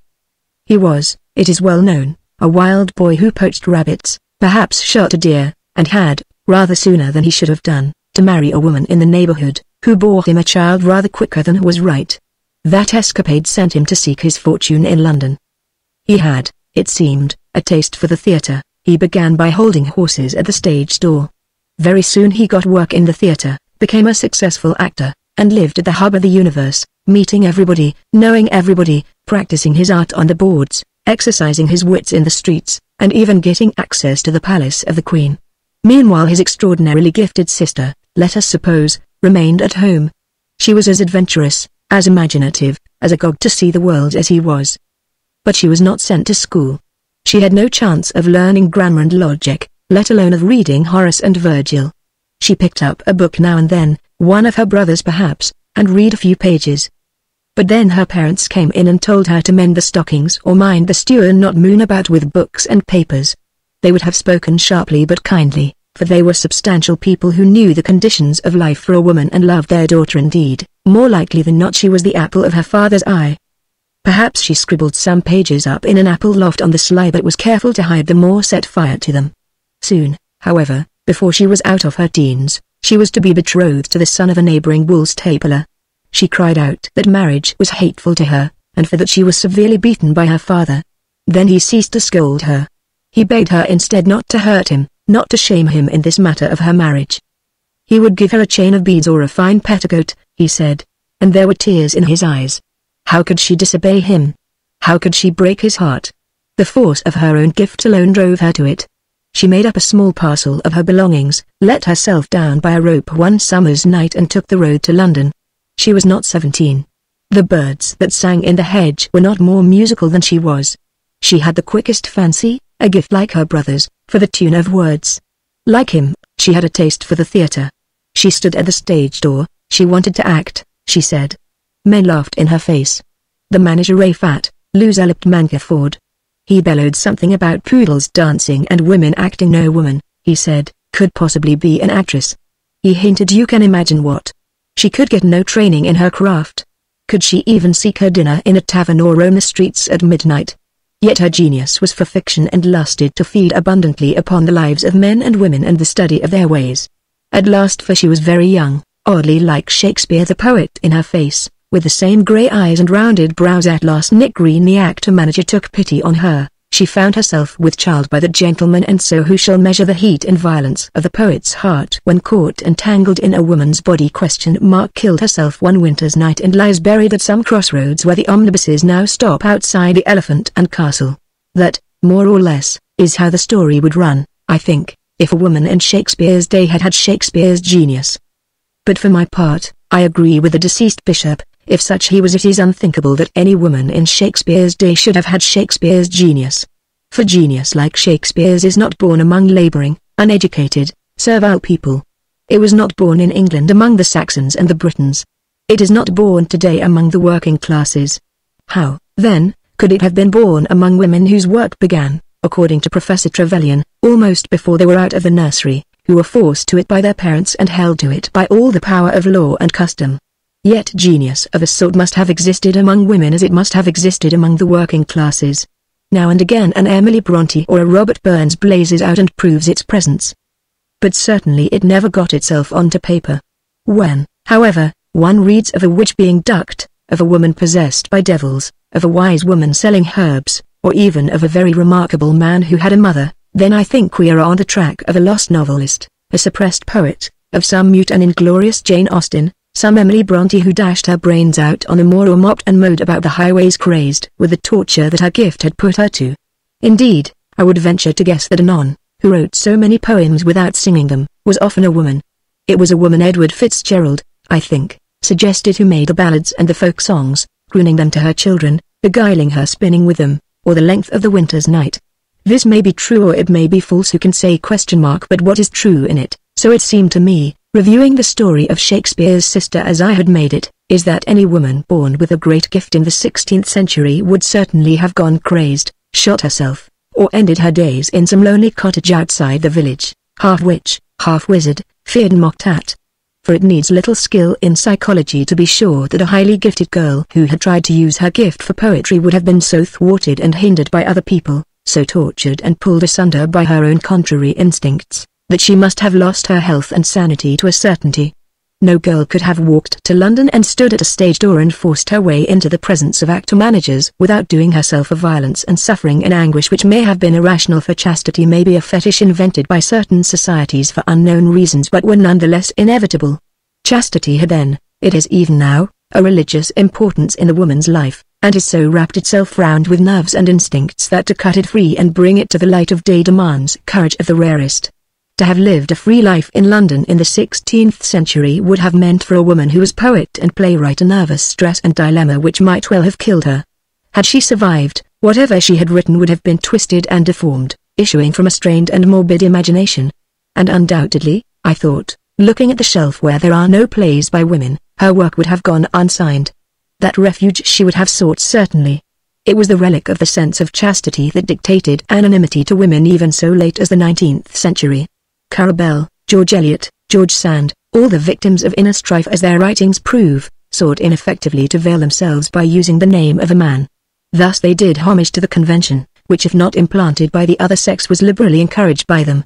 The chief glory of a woman is not to be talked of, said Pericles, himself a much talked of man, that publicity in women is detestable. Anonymity runs in their blood. The desire to be veiled still possesses them. They are not even now as concerned about the health of their fame as men are, and, speaking generally, will pass a tombstone or a signpost without feeling an irresistible desire to cut their names on it, as Alf, Bert or Chas. Must do in obedience to their instinct, which murmurs if it sees a fine woman go by, or even a dog, shyness to moi.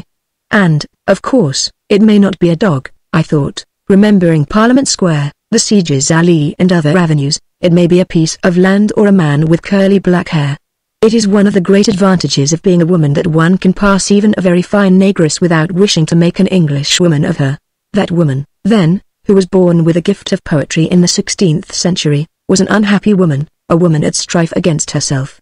All the conditions of her life, all her own instincts, were hostile to the state of mind which is needed to set free whatever is in the brain. But what is the state of mind that is most propitious to the act of creation? I asked. Can one come by any notion of the state that furthers and makes possible that strange activity? Here I opened the volume containing the tragedies of Shakespeare. What was Shakespeare's state of mind, for instance, when he wrote Lear and Antony and Cleopatra? It was certainly the state of mind most favorable to poetry that there has ever existed. But Shakespeare himself said nothing about it. We only know casually and by chance that he never blotted a line.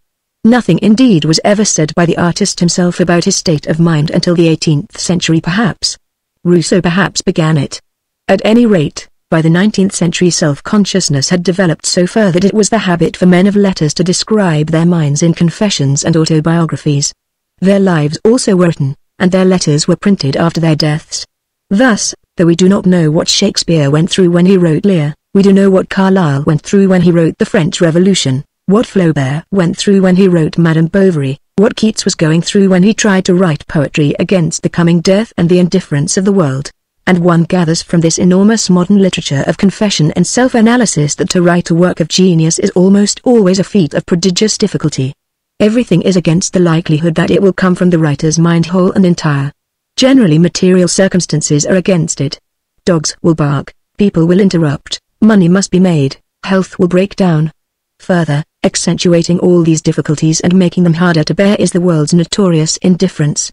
It does not ask people to write poems and novels and histories, it does not need them.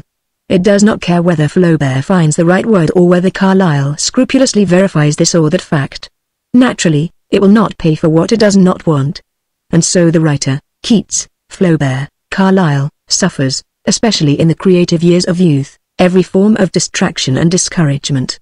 A curse, a cry of agony, rises from those books of analysis and confession. Mighty poets in their misery dead that is the burden of their song.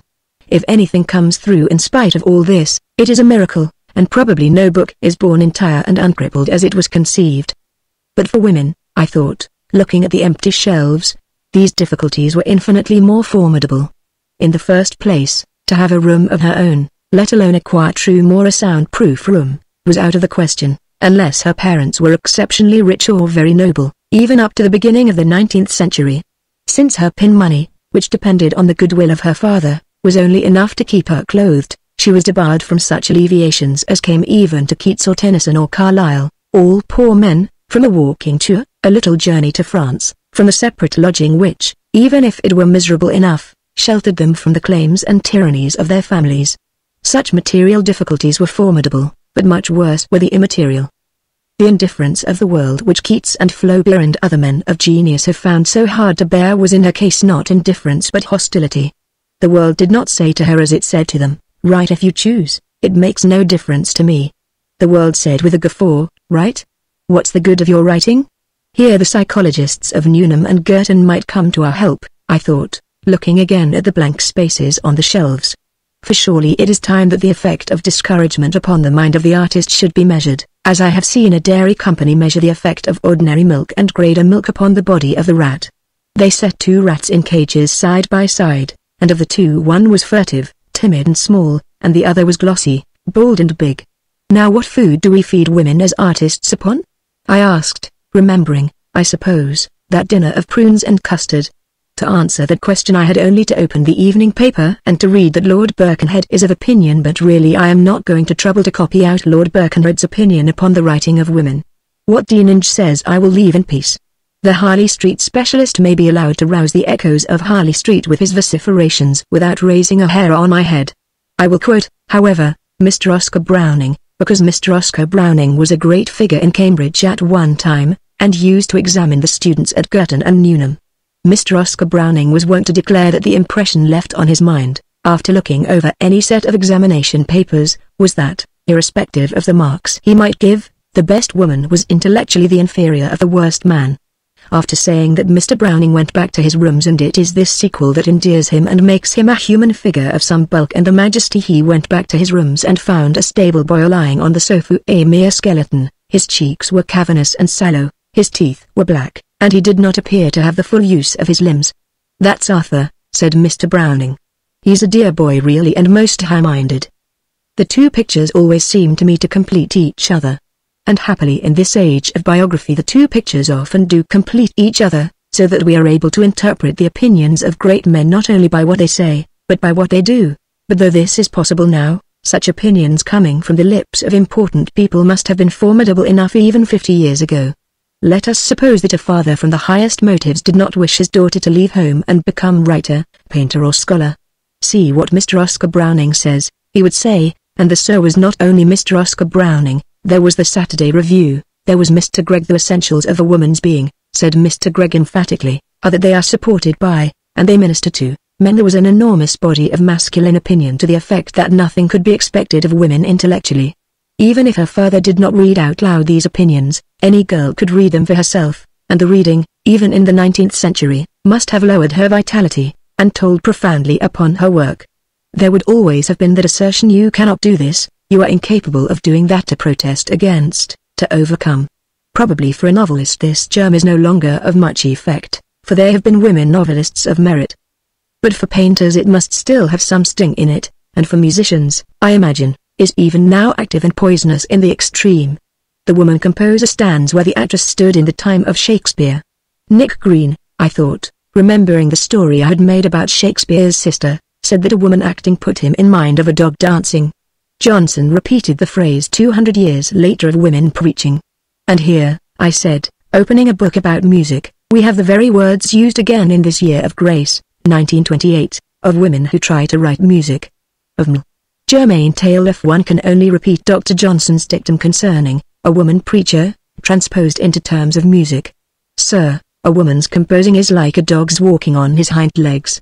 It is not done well, but you are surprised to find it done at all. 5. So accurately does history repeat itself. Thus, I concluded, shutting Mr. Oscar Browning's life and pushing away the rest, it is fairly evident that even in the 19th century a woman was not encouraged to be an artist. On the contrary, she was snubbed, slapped, lectured and exhorted. Her mind must have been strained and her vitality lowered by the need of opposing this, of disproving that. For here again we come within range of that very interesting and obscure masculine complex which has had so much influence upon the woman's movement, the deep-seated desire, not so much that SHE shall be inferior as that he shall be superior, which plants him wherever one looks, not only in front of the arts, but barring the way to politics too, even when the risk to himself seems infinitesimal and the suppliant humble and devoted. Even Lady Bessborough, I remembered, with all her passion for politics, must humbly bow herself and write to Lord Granville Leveson and Gower, apostrophe. Notwithstanding all my violence in politics and talking so much on that subject, I perfectly agree with you that no woman has any business to meddle with that or any other serious business, further than giving her opinion, if she is asked. And so she goes on to spend her enthusiasm where it meets with no obstacle whatsoever, upon that immensely important subject, Lord Granville's maiden speech in the House of Commons. The spectacle is certainly a strange one, I thought. The history of men's opposition to women's emancipation is more interesting perhaps than the story of that emancipation itself. An amusing book might be made of it if some young student at Girton or Newnham would collect examples and deduce a theory but she would need thick gloves on her hands, and bars to protect her of solid gold. But what is amusing now, I recollected, shutting Lady Bessborough, had to be taken in desperate earnest once. Opinions that one now pastes in a book labeled Cock-a-Doodle-Dum and keeps for reading to select audiences on summer nights once true tears, I can assure you. Among your grandmothers and great-grandmothers there were many that wept their eyes out. Florence Nightingale shrieked aloud in her agony 6. Moreover, it is all very well for you, who have got yourselves to college and enjoy sitting rooms or is it only bed sitting rooms question mark of your own to say that genius should disregard such opinions, that genius should be above caring what is said of it. Unfortunately, it is precisely the men or women of genius who mind most what is said of them. Remember Keats. Remember the words he had cut on his tombstone. Think of Tennyson, think but I need hardly multiply instances of the undeniable, if very fortunate, fact that it is the nature of the artist to mind excessively what is said about him. Literature is strewn with the wreckage of men who have minded beyond reason the opinions of others. And this susceptibility of theirs is doubly unfortunate, I thought, returning again to my original inquiry into what state of mind is most propitious for creative work, because the mind of an artist, in order to achieve the prodigious effort of freeing whole and entire the work that is in him, must be incandescent, like Shakespeare's mind, I conjectured, looking at the book which lay open at Antony and Cleopatra. There must be no obstacle in it, no foreign matter unconsumed, for though we say that we know nothing about Shakespeare's state of mind, even as we say that, we are saying something about Shakespeare's state of mind. The reason perhaps why we know so little of Shakespeare compared with Donne or Ben Jonson or Milton is that his grudges and spites and antipathies are hidden from us. We are not held up by some revelation which reminds us of the writer. All desire to protest, to preach, to proclaim an injury, to pay off a score, to make the world the witness or some hardship or grievance was fired out of him and consumed. Therefore his poetry flows from him free and unimpeded. If ever a human being got his work expressed completely, it was Shakespeare. If ever a mind was incandescent, unimpeded, I thought, turning again to the bookcase, it was Shakespeare's mind, for, that one would find any woman in that state of mind in the 16th century was obviously impossible. One has only to think of the Elizabethan tombstones with all those children kneeling with clasped hands, and their early deaths, and to see their houses with their dark, cramped rooms, to realize that no woman could have written poetry then. What one would expect to find would be that rather later perhaps some great lady would take advantage of her comparative freedom and comfort to publish something with her name to it and risk being thought a monster. Men, of course, are not snobs, I continued, carefully eschewing the errant feminism of Miss Rebecca West but they appreciate with sympathy for the most part the efforts of a countess to write verse. One would expect to find a lady of title meeting with far greater encouragement than an unknown Miss Austen or a Miss Bronte at that time would have met with. But one would also expect to find that her mind was disturbed by alien emotions like fear and hatred and that her poems showed traces of that disturbance. Here is Lady Winchilsea, for example, I thought, taking down her poems, she was born in the year 1661, she was noble both by birth and by marriage, she was childless, she wrote poetry, and one has only to open her poetry to find her bursting out in indignation against the position of women. How we are fallen. Fallen by mistaken rules. And education's more than nature's fools. Debarred from all improvements of the mind. And to be dull, expected and designed. And if someone would soar above the rest, with warmer fancy, and ambition pressed, so strong the opposing faction still appears. The hopes to thrive can ne'er outweigh the fears, clearly her mind has by no means consumed all impediments and become incandescent. On the contrary, it is harassed and distracted with hates and grievances. The human race is split up for her into two parties. Men are the opposing faction, men are hated and feared, because they have the power to bar her way to what she wants to do which is to write, alas. A woman that attempts the pen. Such a presumptuous creature is esteemed. The fault can by no virtue be redeemed, they tell us we mistake our sex and away. Good breeding, fashion, dancing, dressing, play, are the accomplishments we should desire. To write, or read, or think, or to inquire, would cloud our beauty, and exhaust our time, and interrupt the conquests of our prime, whilst the dull manage of a servile house, is held by some our utmost art and use. Indeed she has to encourage herself to write by supposing that what she writes will never be published, to soothe herself with a sad chant.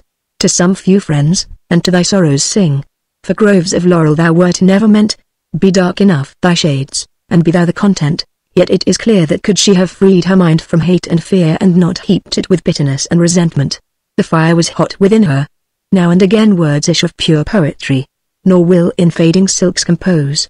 Faintly the inimitable rose, they are rightly praised by Mr. Murry, and Pope, it is thought, remembered and appropriated those others. Now the jonquillo uh, comes the feeble brain. We faint beneath the aromatic pain. It was a thousand pities that the woman who could write like that, whose mind was tuned to nature and reflection, should have been forced to anger and bitterness. but how could she have helped herself? I asked, imagining the sneers and the laughter, the adulation of the toadies, the skepticism of the professional poet. She must have shut herself up in a room in the country to write, and been torn asunder by bitterness and scruples perhaps, though her husband was of the kindest, and their married life perfection. She must have, I say, because when one comes to seek out the facts about Lady Winchilsea, one finds, as usual, that almost nothing is known about her. She suffered terribly from melancholy, which we can explain at least to some extent when we find her telling us how in the grip of it she would imagine. My lines decried, and my employment thought, an useless folly or presumptuous fault.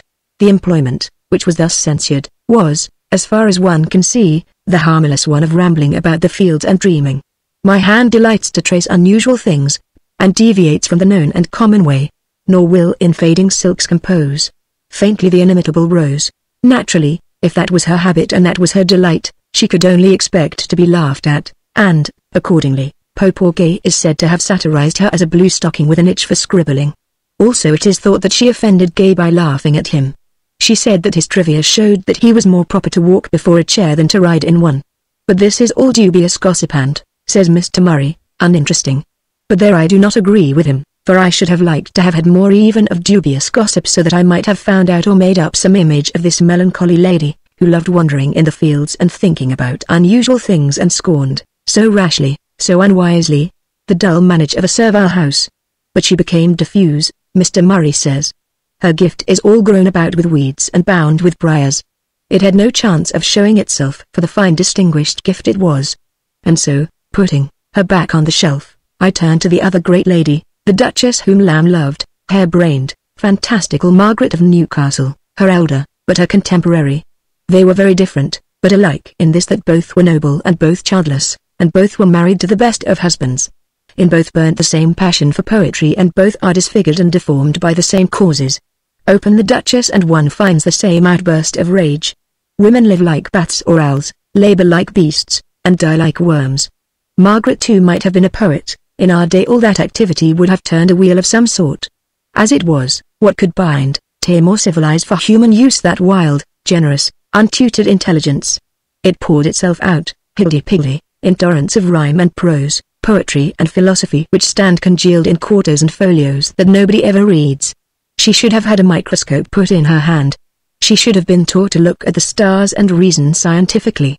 Her wits were turned with solitude and freedom. No one checked her. No one taught her. The professors fawned on her. At court they jeered at her.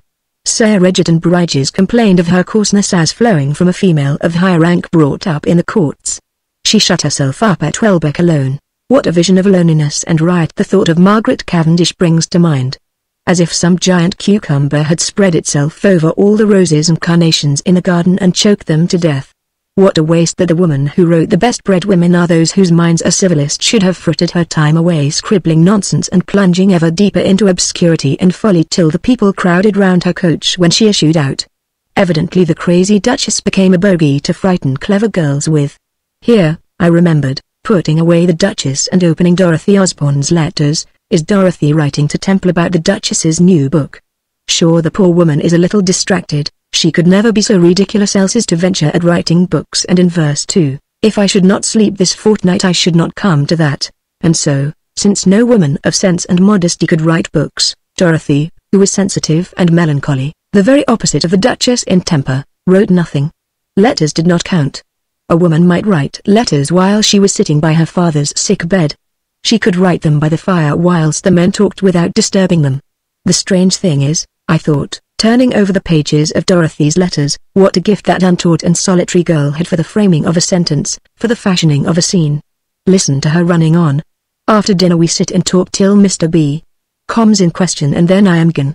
The heat of the day is spent in reading or working and about six or seven o'clock, I walk out into a common that lies hard by the house where a great many young wenches keep sheep and cows and sit in the shades singing of ballads. I go to them and compare their voices and beauties to some ancient shepherdesses that I have read of and find a vast difference there, but trust me I think these are as innocent as those could be. I talk to them, and find they want nothing to make them the happiest people in the world, but the knowledge that they are so. Most commonly when we are in the midst of our discourse one looks about her and spies her cows going into the corn and then away they all run as if they had wings at their heels. I that am not so nimble stay behind, and when I see them driving home their cattle I think 'tis time for me to retire too. When I have supped I go into the garden and so to the side of a small river that runs by it where I sit down and wish you with me. One could have sworn that she had the makings of a writer in her. But if I should not sleep this fortnight I should not come to that one can measure the opposition that was in the air to a woman writing when one finds that even a woman with a great turn for writing has brought herself to believe that to write a book was to be ridiculous, even to show oneself distracted. And so we come, I continued, replacing the single short volume of Dorothy Osborne's letters upon the shelf, to Mrs. Behn. And with Mrs. Behn we turn a very important corner on the road.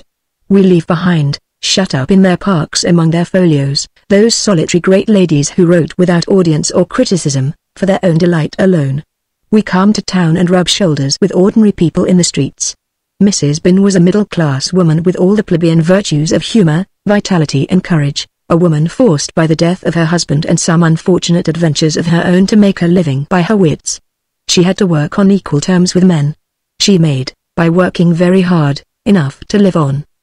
The importance of that fact outweighs anything that she actually wrote, even the splendid A Thousand Martyrs I Have Made, all of in fantastic triumph sat, for here begins the freedom of the mind, or rather the possibility that in the course of time the mind will be free to write what it likes. For now that Aphra Behn had done it, girls could go to their parents and say, you need not give me an allowance, I can make money by my pen. Of course the answer for many years to come was, yes, by living the life of Aphra Behn. Death would be better. And the door was slammed faster than ever. That profoundly interesting subject, the value that men set upon women's chastity and its effect upon their education, here suggests itself for discussion, and might provide an interesting book if any student at Girton or Newnham cared to go into the matter. Lady Dudley, sitting in diamonds among the midges of a Scottish moor, might serve for frontispiece. Lord Dudley, the Times said when Lady Dudley died the other day, a man of cultivated taste and many accomplishments, was benevolent and bountiful, but whimsically despotic. He insisted upon his wife's wearing full dress, even at the remotest shooting lodge in the Highlands, he loaded her with gorgeous jewels, and so on, he gave her everything always accepting any measure of responsibility. Then Lord Dudley had a stroke and she nursed him and ruled his estates with supreme competence forever after. That whimsical despotism was in the 19th century too. But to return. Aphra Behn proved that money could be made by writing at the sacrifice, perhaps, of certain agreeable qualities, and so by degrees writing became not merely a sign of folly and a distracted mind, but it was of practical importance. A husband might die, or some disaster overtake the family. Hundreds of women began as the 18th century drew on to add to their pin money, or to come to the rescue of their families by making translations or writing the innumerable bad novels which have ceased to be recorded even in textbooks, but are to be picked up in the fourpenny boxes in the Charing Cross Road. The extreme activity of mind which showed itself in the later 18th century among women the talking, and the meeting, the writing of essays on Shakespeare, the translating of the classics was founded on the solid fact that women could make money by writing. Money dignifies what is frivolous if unpaid for. It might still be well to sneer at blue stockings with an itch for scribbling, but it could not be denied that they could put money in their purses. Thus, towards the end of the 18th century a change came about which, if I were rewriting history, I should describe more fully and think of greater importance than the Crusades or the Wars of the Roses. The middle-class woman began to write. For if Pride and Prejudice matters, and Middlemarch and Villette and Wuthering Heights matter, then it matters far more than I can prove in an hour's discourse that women generally, and not merely the lonely aristocrat shut up in her country house among her folios and her flatterers, took to writing. Without those forerunners, Jane Austen and the Brontes and George Eliot could no more have written than Shakespeare could have written without Marlowe, or Marlowe without Chaucer, or Chaucer without those forgotten poets who paved the ways and tamed the natural savagery of the tongue. For masterpieces are not single and solitary births, they are the outcome of many years of thinking in common, of thinking by the body of the people so that the experience of the mass is behind the single voice. Jane Austen should have laid a wreath upon the grave of Fanny Burney, and George Eliot done homage to the robust shade of Eliza Carter the valiant old woman who tied a belt to her bedstead in order that she might wake early and learn Greek. All women together ought to let flowers fall upon the tomb of Aphra Behn, which is, most scandalously but rather appropriately, in Westminster Abbey, for it was she who earned them the right to speak their minds. It is she shady and amorous as she was who makes it not quite fantastic for me to say to you tonight, earn 500 a year by your wits. Here, then, one had reached the early 19th century. And here, for the first time, I found several shelves given up entirely to the works of women. But why, I could not help asking, as I ran my eyes over them, were they, with very few exceptions, all that novels. The original impulse was to poetry. The supreme head of song was a poetess. Both in France and in England the women poets precede the women novelists. Moreover, I thought, looking at the four famous names, what had George Eliot in common with Emily Bronte? Did not Charlotte Bronte fail entirely to understand Jane Austen? Save for the possibly relevant fact that not one of them had a child, four more incongruous characters could not have met together in a room so much so that it is tempting to invent a meeting and a dialogue between them. Yet by some strange force they were all compelled when they wrote, to write novels. Had it something to do with being born of the middle class, I asked, and with the fact, which Miss Emily Davies a little later was so strikingly to demonstrate, that the middle-class family in the early 19th century was possessed only of a single sitting room between them. If a woman wrote, she would have to write in the common sitting room. And, as Miss Nightingale was so vehemently to complain comma women never have an half hour, that they can call their own she was always interrupted. Still it would be easier to write prose and fiction than to write poetry or a play. Less concentration is required. Jane Austen wrote like that to the end of her days. How she was able to effect all this, her nephew writes in his memoir, is surprising, for she had no separate study to repair to, and most of the work must have been done in the general sitting room, subject to all kinds of casual interruptions. She was careful that her occupation should not be suspected by servants or visitors or any persons beyond her own family party 7. Jane Austen hid her manuscripts or covered them with a piece of blotting paper. Then, again, all the literary training that a woman had in the early 19th century was training in the observation of character, in the analysis of emotion. Her sensibility had been educated for centuries by the influences of the common sitting room. People's feelings were impressed on her, personal relations were always before her eyes. Therefore, when the middle-class woman took to writing, she naturally wrote novels, even though, as seems evident enough, two of the four famous women here named were not by nature novelists. Emily Bronte should have written poetic plays, the overflow of George Eliot's capacious mind should have spread itself when the creative impulse was spent upon history or biography. They wrote novels, however, one may even go further, I said, taking Pride and Prejudice from the shelf, and say that they wrote good novels. Without boasting or giving pain to the opposite sex, one may say that Pride and Prejudice is a good book. At any rate, one would not have been ashamed to have been caught in the act of writing Pride and Prejudice. Yet Jane Austen was glad that a hinge creaked, so that she might hide her manuscript before anyone came in. To Jane Austen there was something discreditable in writing Pride and Prejudice. And, I wondered, would Pride and Prejudice have been a better novel if Jane Austen had not thought it necessary to hide her manuscript from visitors? I read a page or two to see, but I could not find any signs that her circumstances had harmed her work in the slightest.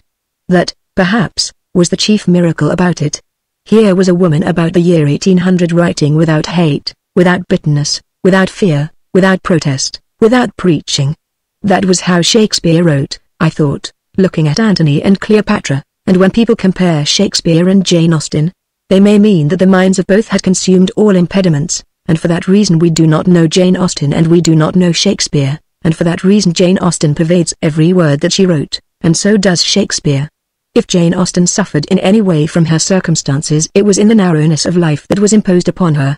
It was impossible for a woman to go about alone. She never travelled, she never drove through London in an omnibus or had luncheon in a shop by herself. But perhaps it was the nature of Jane Austen not to want what she had not. Her gift and her circumstances matched each other completely. But I doubt whether that was true of Charlotte Bronte, I said, opening Jane Eyre and laying it beside Pride and Prejudice. I opened it at chapter 12 and my eye was caught by the phrase anybody may blame me who likes. What were they blaming Charlotte Bronte for? I wondered. And I read how Jane Eyre used to go up onto the roof when Mrs. Fairfax was making jellies and looked over the fields at the distant view. And then she longed and it was for this that they blamed her that then I longed for a power of vision which might overpass that limit, which might reach the busy world, towns, regions full of life I had heard of but never seen, that then I desired more of practical experience than I possessed more of intercourse with my kind, of acquaintance with variety of character than was here within my reach. I valued what was good in Mrs. Fairfax, and what was good in Adele, but I believed in the existence of other and more vivid kinds of goodness, and what I believed in I wished to behold. Who blames me? Many, no doubt, and I shall he call discontented. I could not help it, the restlessness was in my nature, It agitated me to pain sometimes. It is vain to say human beings ought to be satisfied with tranquility, they must have action, and they will make it if they cannot find it.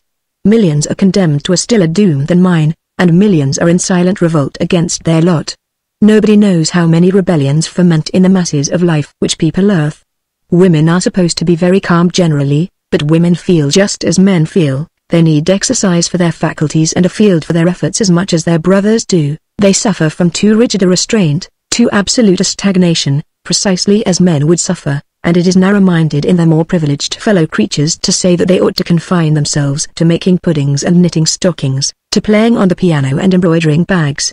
It is thoughtless to condemn them, or laugh at them, if they seek to do more or learn more than custom has pronounced necessary for their sex. When thus alone I not unfrequently heard Grace Poole's laugh.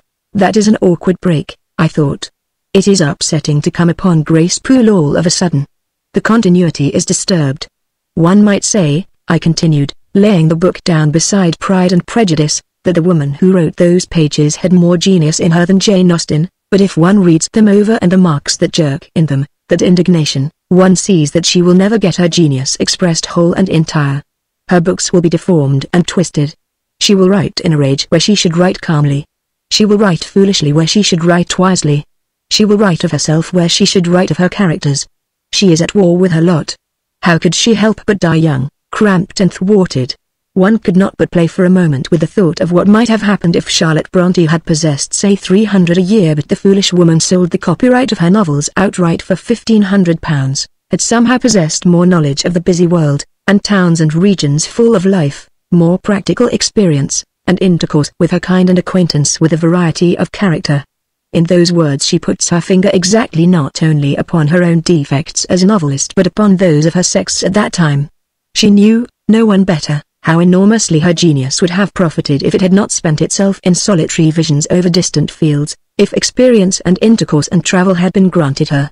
But they were not granted, they were withheld, and we must accept the fact that all those good novels, Villette, Emma, Wuthering Heights, Middlemarch, were written by women without more experience of life than could enter the house of a respectable clergyman, written to in the common sitting room of that respectable house and by women so poor that they could not afford to buy more than a few quires of paper at a time upon which to write Wuthering Heights or Jane Eyre.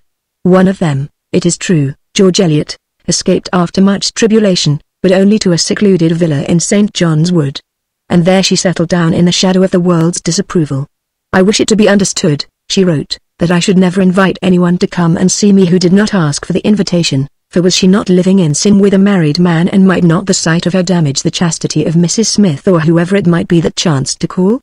One must submit to the social convention, and be cut off from what is called the world. At the same time, on the other side of Europe, there was a young man living freely with this gypsy or with that great lady, going to the wars, picking up unhindered and uncensored all that varied experience of human life which served him so splendidly later when he came to write his books. Had Tolstoy lived at the priory in seclusion with a married lady cut off from what is called the world, however edifying the moral lesson, he could scarcely, I thought, have written War and Peace. But one could perhaps go a little deeper into the question of novel writing and the effect of sex upon the novelist. If one shuts one's eyes and thinks of the novel as a whole, it would seem to be a creation owning a certain looking-glass likeness to life, though of course with simplifications and distortions innumerable.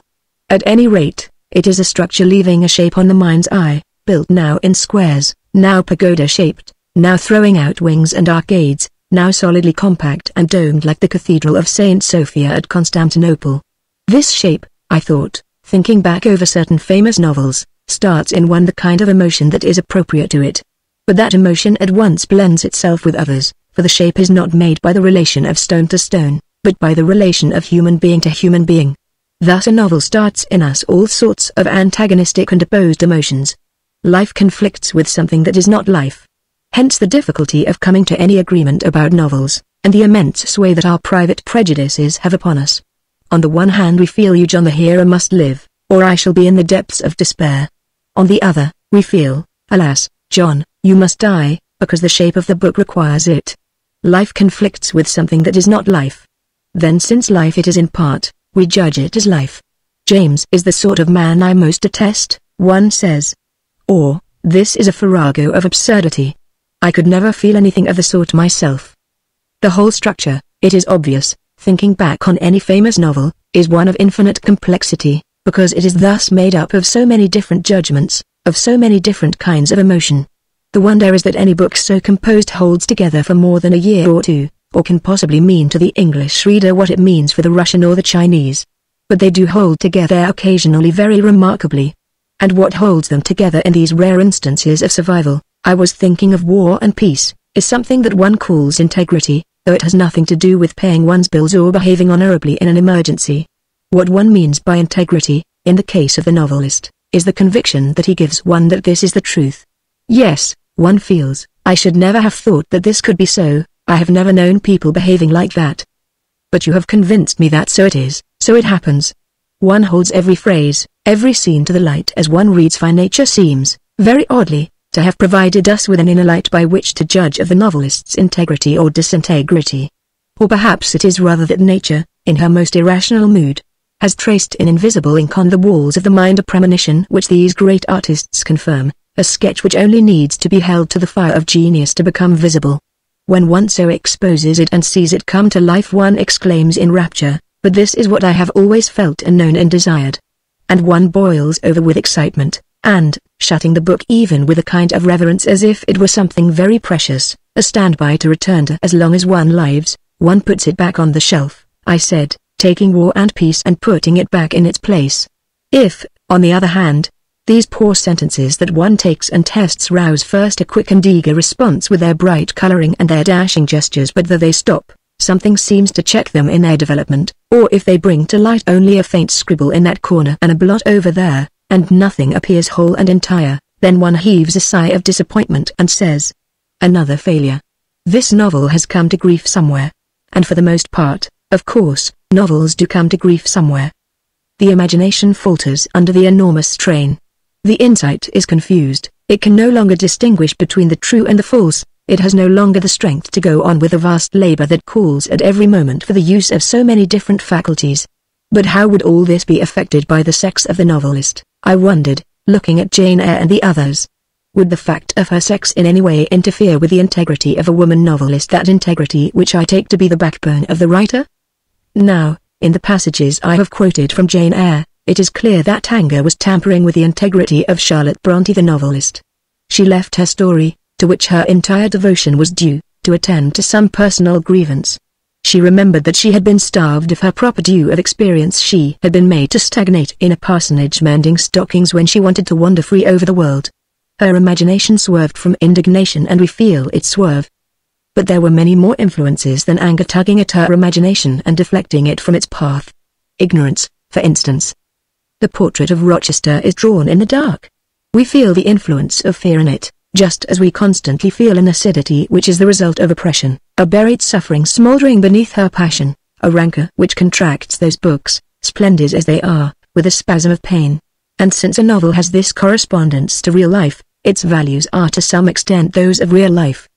But it is obvious that the values of women differ very often from the values which have been made by the other sex. Naturally, this is so. Yet it is the masculine values that prevail. Speaking crudely, football and sport are important, the worship of fashion, the buying of clothes trivial.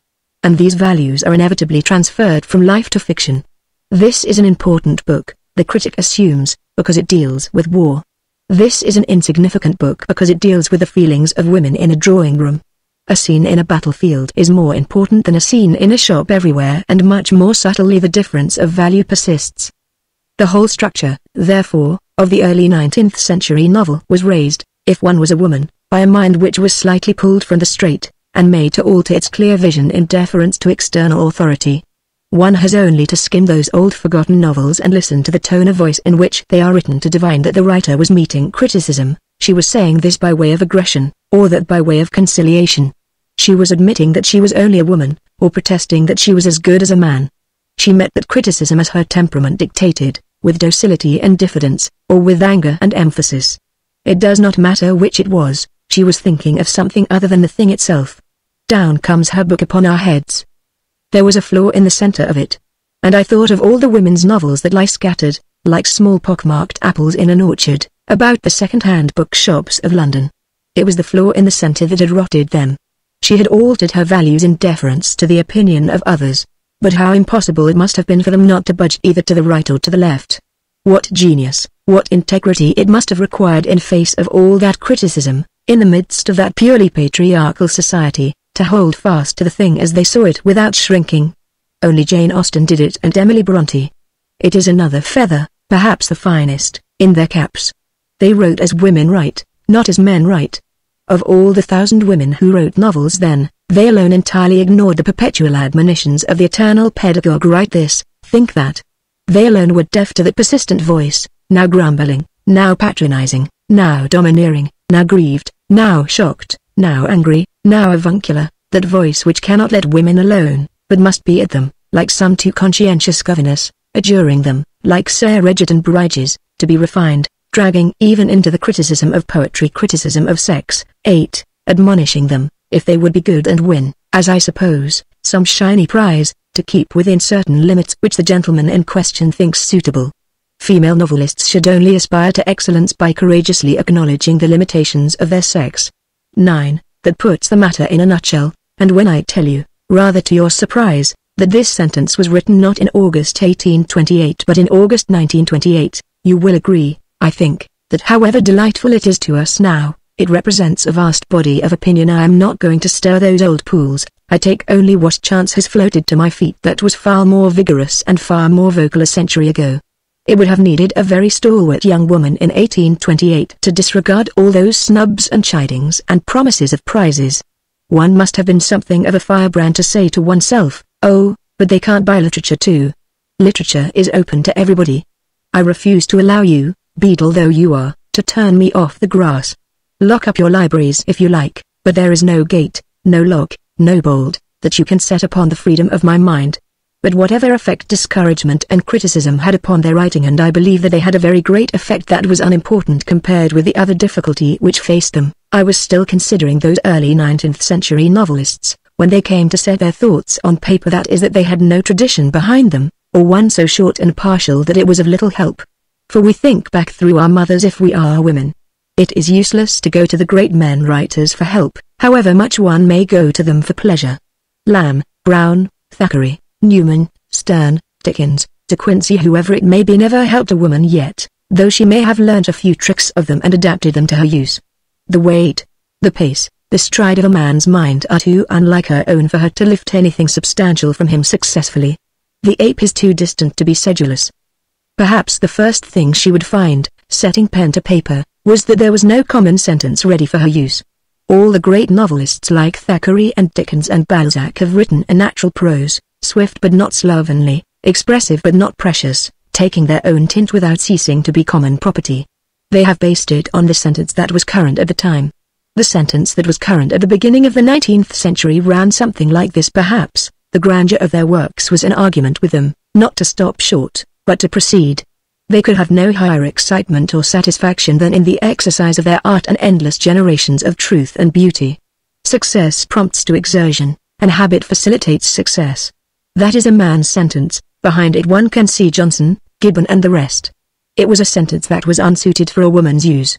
Charlotte Bronte, with all her splendid gift for prose, stumbled and fell with that clumsy weapon in her hands. George Eliot committed atrocities with it that beg a description. Jane Austen looked at it and laughed at it and devised a perfectly natural, shapely sentence proper for her own use and never departed from it. Thus, with a less genius for writing than Charlotte Bronte, she got infinitely more said.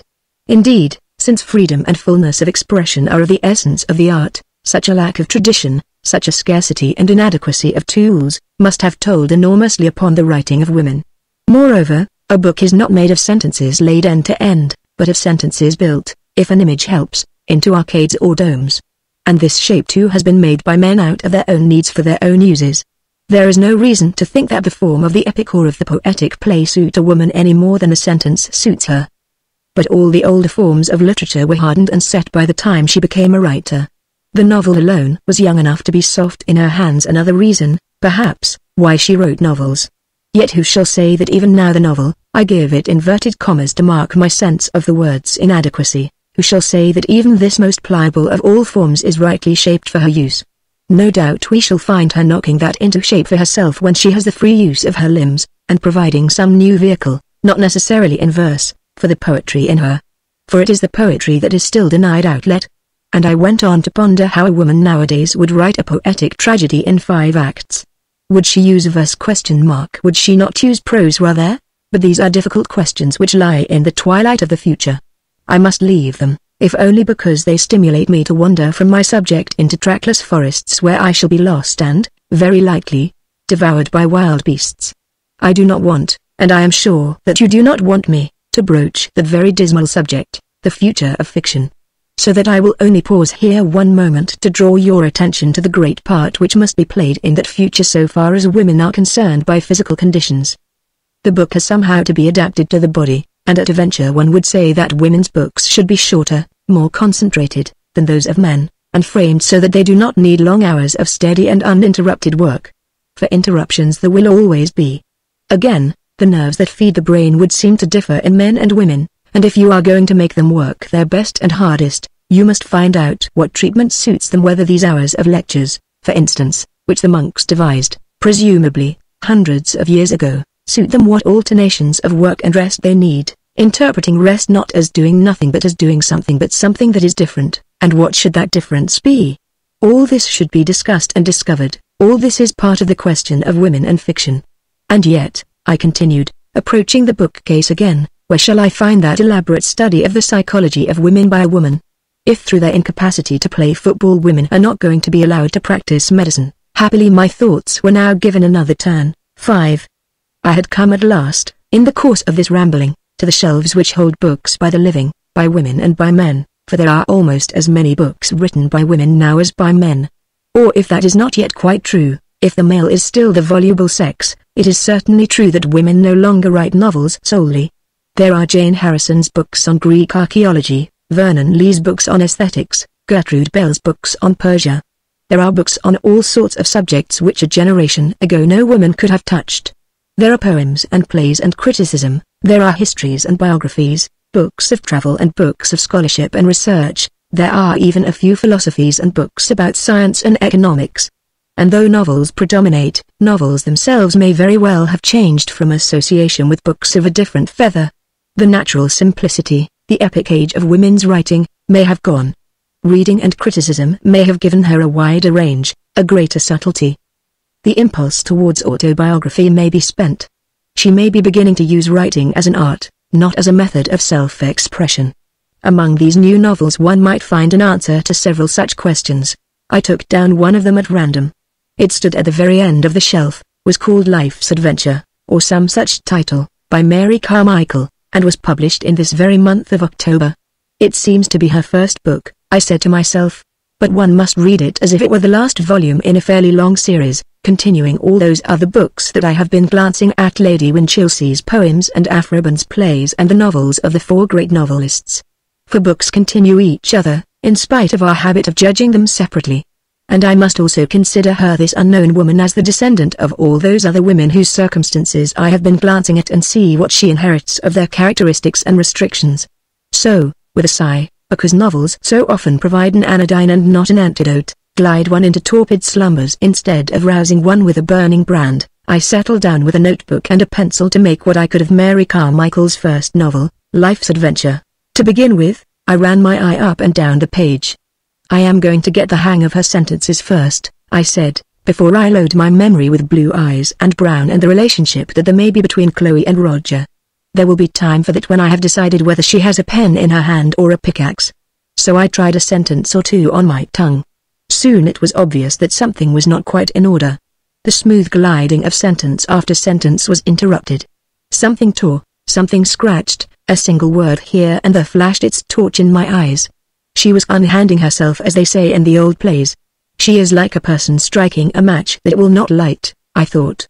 But why, I asked her as if she were present, are Jane Austen's sentences not of the right shape for you?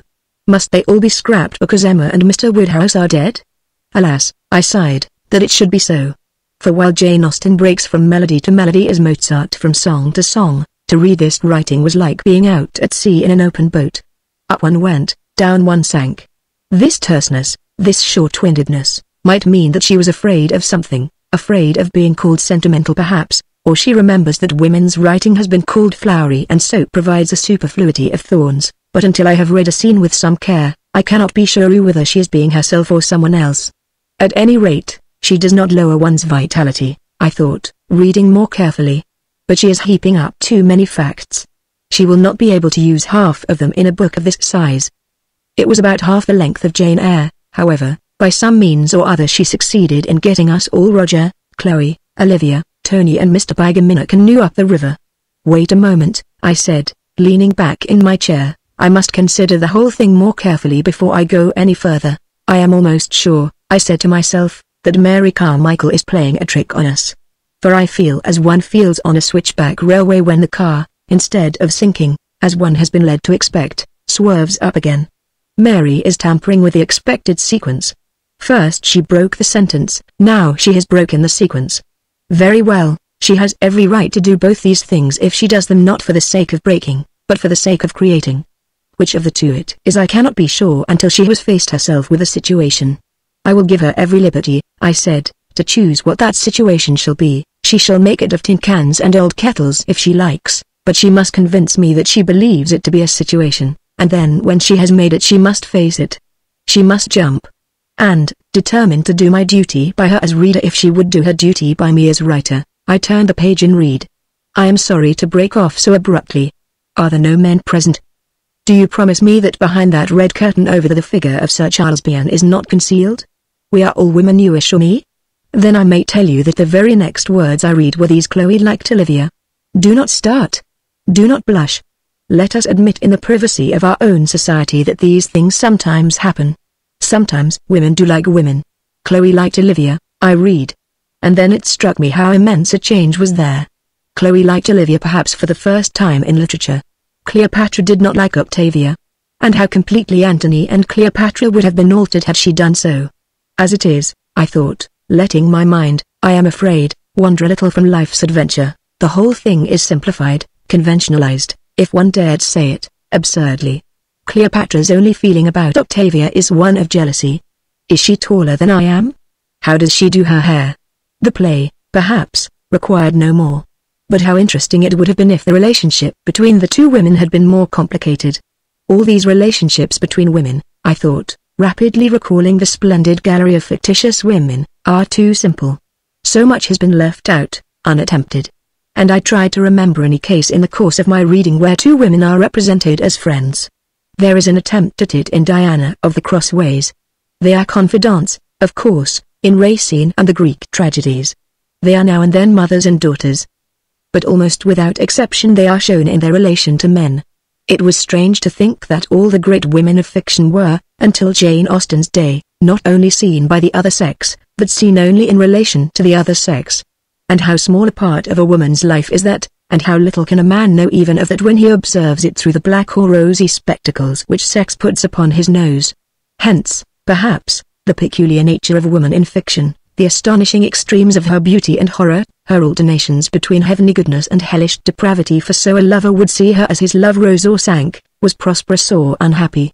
This is not so true of the 19th century novelists, of course. Woman becomes much more various and complicated there. Indeed it was the desire to write about women perhaps that led men by degrees to abandon the poetic drama which, with its violence, could make so little use of them, and to devise the novel as a more fitting receptacle. Even so it remains obvious, even in the writing of Proust, that a man is terribly hampered and partial in his knowledge of women, as a woman in her knowledge of men. Also, I continued, looking down at the page again, it is becoming evident that women, like men, have other interests besides the perennial interests of domesticity. Chloe liked Olivia. They shared a laboratory together. I read on and discovered that these two young women were engaged in mincing liver, which is, it seems, a cure for pernicious anemia, although one of them was married and had I think I am right in stating two small children. Now all that, of course, has had to be left out, and thus the splendid portrait of the fictitious woman is much too simple and much too monotonous. Suppose, for instance, that men were only represented in literature as the lovers of women, and were never the friends of men, soldiers, thinkers, dreamers, how few parts in the plays of Shakespeare could be allotted to them, how literature would suffer. We might perhaps have most of Othello, and a good deal of Antony, but no Caesar, no Brutus, no Hamlet, no Lear, no Jaques literature would be incredibly impoverished, as indeed literature is impoverished beyond our counting by the doors that have been shut upon women. married against their will, kept in one room, and to one occupation, how could a dramatist give a full or interesting or truthful account of them? Love was the only possible interpreter.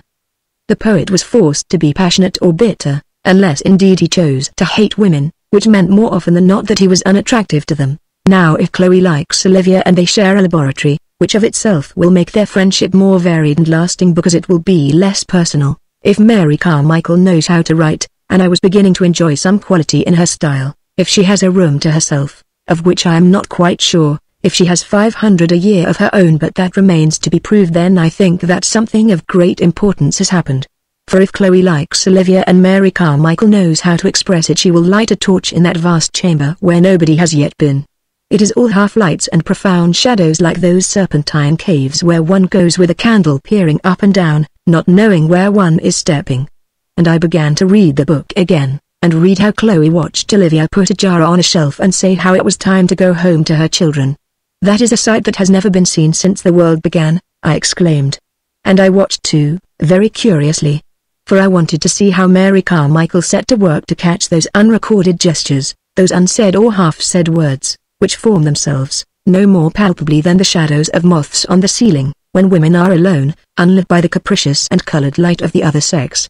She will need to hold her breath, I said, reading on, if she is to do it, for women are so suspicious of any interest that has not some obvious motive behind it, so terribly accustomed to concealment and suppression, that they are offered the flicker of an eye turned observingly in their direction. The only way for you to do it, I thought, addressing Mary Carmichael as if she were there, would be to talk of something else, looking steadily out of the window, and thus note, not with a pencil in a notebook, but in the shortest of shorthand, in words that I hardly syllabled yet, what happens when Olivia this organism that has been under the shadow of the rock these million years feels the light fall on it, and sees coming her way a piece of strange food knowledge, adventure, art. And she reaches out for it, I thought, again raising my eyes from the page, and has to devise some entirely new combination of her resources, so highly developed for other purposes, so as to absorb the new into the old without disturbing the infinitely intricate and elaborate balance of the whole. But, alas, I had done what I had determined not to do, I had slipped unthinkingly into praise of my own sex. Highly developed infinitely intricate such are undeniably terms of praise, and to praise one's own sex is always suspect, often silly. Moreover, in this case, how could one justify it? One could not go to the map and say Columbus discovered America and Columbus was a woman, or take an apple and remark, Newton discovered the laws of gravitation and Newton was a woman, or look into the sky and say aeroplanes are flying overhead and aeroplanes were invented by women. There is no mark on the wall to measure the precise height of women. There are no yard measures, neatly divided into the fractions of an inch, that one can lay against the qualities of a good mother or the devotion of a daughter, or the fidelity of a sister, or the capacity of a housekeeper. Few women even now have been graded at the universities. The great trials of the professions, army and navy, trade, politics and diplomacy have hardly tested them. They remain even at this moment almost unclassified. But if I want to know all that a human being can tell me about Sir Hawley Butts, for instance, I have only to open Burke or Debrett and I shall find that he took such and such a degree, owns a hall, has an heir, was secretary to a board, represented Great Britain in Canada, and has received a certain number of degrees, offices, medals and other distinctions by which his merits are stamped upon him indelibly. Only Providence can know more about Sir Hawley Butts than that. When, therefore, I say highly developed, infinitely intricate of women, I am unable to verify my words either in Whitaker, Debrett or the university calendar. In this predicament what can I do? And I looked at the bookcase again. There were the biographies, Johnson and Goethe and Carlyle and Sterne and Cowper and Shelley and Voltaire and Browning and many others.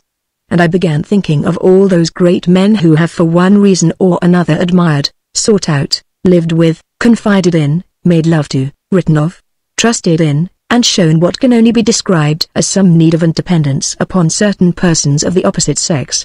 That all these relationships were absolutely platonic I would not affirm, and Sir William Joynson Hicks would probably deny but we should wrong these illustrious men very greatly if we insisted that they got nothing from these alliances but comfort, flattery and the pleasures of the body. What they got, it is obvious, was something that their own sex was unable to supply, and it would not be rash, perhaps, to define it further, without quoting the doubtless rhapsodical words of the poets, as some stimulus, some renewal of creative power which is in the gift only of the opposite sex to bestow. He would open the door of drawing room or nursery, I thought, and find her among her children perhaps, or with a piece of embroidery on her knee. At any rate, the center of some different order and system of life, and the contrast between this world and his own, which might be the law courts or the House of Commons, would at once refresh and invigorate, and there would follow, even in the simplest talk, such a natural difference of opinion that the dried ideas in him would be fertilized anew, and the sight of her creating in a different medium from his own would so quicken his creative power that insensibly his sterile mind would begin to plot again, and he would find the phrase or the scene which was lacking when he put on his hat to visit her. Every Johnson has his Thrale, and holds fast to her for some such reasons as these, and when the Thrale marries her Italian music master Johnson goes half mad with rage and disgust, not merely that he will miss his pleasant evenings at Streatham, but that the light of his life will be as if gone out. And without being Dr. Johnson or Goethe or Carlyle or Voltaire, one may feel, though very differently from these great men, the nature of this intricacy and the power of this highly developed creative faculty among women. One goes into the room but the resources of the English language would be much put to the stretch, and whole flights of words would need to wing their way illegitimately into existence before a woman could say what happens when she goes into a room. The rooms differ so completely, they are calm or thunderous, open onto the sea, or, on the contrary, give onto a prison yard, are hung with washing, or alive with opals and silks, are hard as horsehair or soft as feathers one has only to go into any room in any street for the whole of that extremely complex force of femininity to fly in one's face. How should it be otherwise? For women have sat indoors all these millions of years, so that by this time the very walls are permeated by their creative force, which has, indeed, so overcharged the capacity of bricks and mortar that it must needs harness itself to pens and brushes and business and politics. But this creative power differs greatly from the creative power of men. And one must conclude that it would be a thousand pities if it were hindered or wasted, for it was won by centuries of the most drastic discipline, and there is nothing to take its place. It would be a thousand pities if women wrote like men, or lived like men, or looked like men, for if two sexes are quite inadequate, Considering the vastness and variety of the world, how should we manage with one only? Ought not education to bring out and fortify the differences rather than the similarities?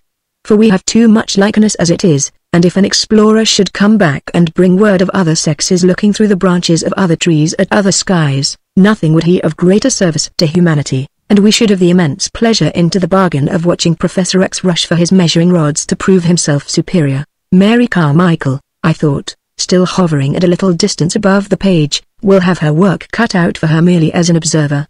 I am afraid indeed that she will be tempted to become, what I think the less interesting branch of the species the naturalist novelist, and not the contemplative. There are so many new facts for her to observe. She will not need to limit herself any longer to the respectable houses of the upper middle classes. She will go without kindness or condescension, but in the spirit of fellowship, into those small, scented rooms where sit the courtesan, the harlot and the lady with the pug dog. That they still sit in the rough and ready-made clothes that the male writer has had perforce to clap upon their shoulders. But Mary Carmichael will have out her scissors and fit them close to every hollow and angle. It will be a curious sight, when it comes, to see these women as they are, but we must wait a little, for Mary Carmichael will still be encumbered with its self-consciousness in the presence or sin which is the legacy of our sexual barbarity. She will still wear the shoddy old fetters of class on her feet, however, the majority of women are neither harlots nor courtesans, nor do they sit clasping pug dogs to dusty velvet all through the summer afternoon. But what do they do then? And there came to my mind's eye one of those long streets somewhere south of the river whose infinite rows are innumerably populated. With the eye of the imagination I saw a very ancient lady crossing the street on the arm of a middle-aged woman, a daughter, perhaps, both so respectably booted and furred that their dressing in the afternoon must be a ritual and the clothes themselves put away in cupboards with camphor, year after year, throughout the summer months. They cross the road when the lamps are being lit, for the dusk is their favorite hour, as they must have done year after year. The elder is close on 80, but if one asked her what her life has meant to her, she would say that she remembered the streets lit for the Battle of Balaclava, or had heard the guns fire in Hyde Park for the birth of King Edward VII. And if one asked her, longing to pin down the moment with date and season, but what were you doing on the 5th of April 1868, or the 2nd of November 1875, she would look vague and say that she could remember nothing. For all the dinners are cooked, the plates and cups washed, the children sent to school and gone out into the world. Nothing remains of it all. All has vanished. No biography or history has a word to say about it. And the novels, without meaning to, inevitably lie. All these infinitely obscure lives remain to be recorded, I said, addressing Mary Carmichael as if she were present, and went on in thought through the streets of London feeling in imagination the pressure of dumbness, the accumulation of unrecorded life, whether from the women at the street corners with their arms akimbo, and the rings embedded in their fat swollen fingers, talking with a gesticulation like the swing of Shakespeare's words, or from the violet sellers and the match sellers and old crones stationed under doorways, or from drifting girls whose faces, like waves in sun and cloud, signal the coming of men and women and the flickering lights of shop windows. All that you will have to explore, I said to Mary Carmichael, holding your torch firm in your hand.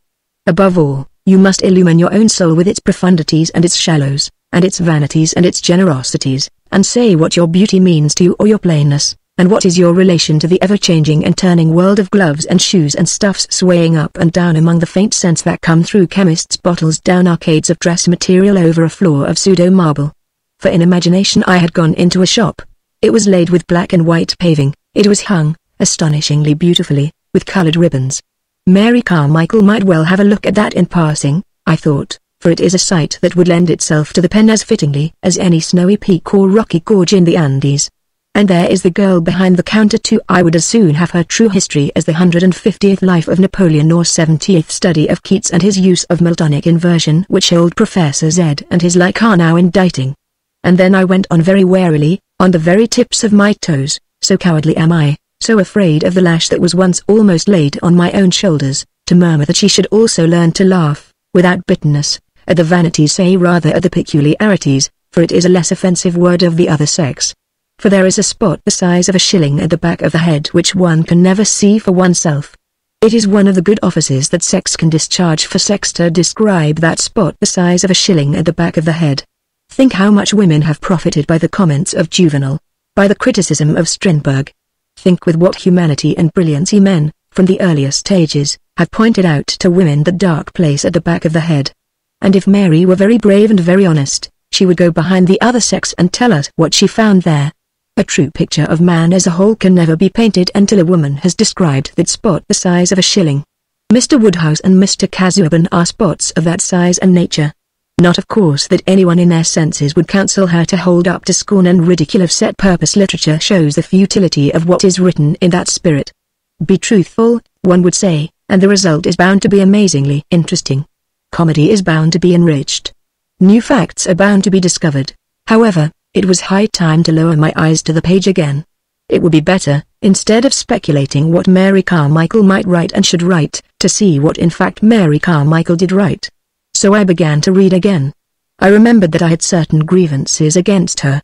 She had broken up Jane Austen's sentence, and thus given me no chance of pluming myself upon my impeccable taste, my fastidious ear. For it was useless to say, Yes, yes, this is very nice, but Jane Austen wrote much better than you do, when I had to admit that there was no point of likeness between them. Then she had gone further and broken the sequence the expected order. Perhaps she had done this unconsciously, merely giving things their natural order, as a woman would, if she wrote like a woman. But the effect was somehow baffling, one could not see a wave heaping itself, a crisis coming round the next corner. Therefore I could not plume myself either upon the depths of my feelings and my profound knowledge of the human heart. For whenever I was about to feel the usual things in the usual places, about love, about death, the annoying creature twitched me away, as if the important point were just a little further on. And thus she made it impossible for me to roll out my sonorous phrases about elemental feelings, the common stuff of humanity, the depths of the human heart, and ail those other phrases which support us in our belief that, however clever we may be on top, we are very serious, very profound and very humane underneath. She made me feel, on the contrary, that instead of being serious and profound and humane, one might be and the thought was far less seductive merely lazy-minded and conventional into the bargain. But I read on, and noted certain other facts. She was no genius that was evident. She had nothing like the love of nature, the fiery imagination, the wild poetry, the brilliant wit, the brooding wisdom of her great predecessors, Lady Winchilsea, Charlotte Bronte, Emily Bronte, Jane Austen and George Eliot, she could not write with the melody and the dignity of Dorothy Osborne indeed she was no more than a clever girl whose books will no doubt be pulped by the publishers in ten years' time. But, nevertheless, she had certain advantages which women of far greater gift lacked even half a century ago. Men were no longer to her the opposing faction, she need not waste her time railing against them, she need not climb onto the roof and ruin her peace of mind longing for travel, experience and a knowledge of the world and character that were denied her. Fear and hatred were almost gone, or traces of them showed only in a slight exaggeration of the joy of freedom, a tendency to the caustic and satirical, rather than to the romantic, in her treatment of the other sex. Then there could be no doubt that as a novelist she enjoyed some natural advantages of a high order. She had a sensibility that was very wide, eager and free, it responded to an almost imperceptible touch on it. It feasted like a plant newly stood in the air on every sight and sound that came its way. It ranged, too, very subtly and curiously, among almost unknown or unrecorded things, it lighted on small things and showed that perhaps they were not small after all. It brought buried things to light and made one wonder what need there had been to bury them. Awkward though she was and without the unconscious bearing of long descent which makes the least turn of the pen of a Thackeray or a Lamb delightful to the ear, she had I began to think mastered the first great lesson. She wrote as a woman, but as a woman who has forgotten that she is a woman, so that her pages were full of that curious sexual quality which comes only when sex is unconscious of itself. All this was to the good. But no abundance of sensation or fineness of perception would avail unless she could build up out of the fleeting and the personal the lasting edifice which remains unthrown. I had said that I would wait until she faced herself with the situation. And I meant by that until she proved by summoning, beckoning and getting together that she was not a skimmer of surfaces merely, but had looked beneath into the depths. Now is the time, she would say to herself at a certain moment, when without doing anything violent I can show the meaning of all this. And she would begin how unmistakable that quickening his exclamation mark beckoning and summoning, and there would rise up in memory, half forgotten, perhaps quite trivial things in other chapters dropped by the way. And she would make their presence felt while someone sewed or smoked a pipe as naturally as possible, and one would feel, as she went on writing, as if one had gone to the top of the world and seen it laid out, very majestically, beneath. At any rate, she was making the attempt.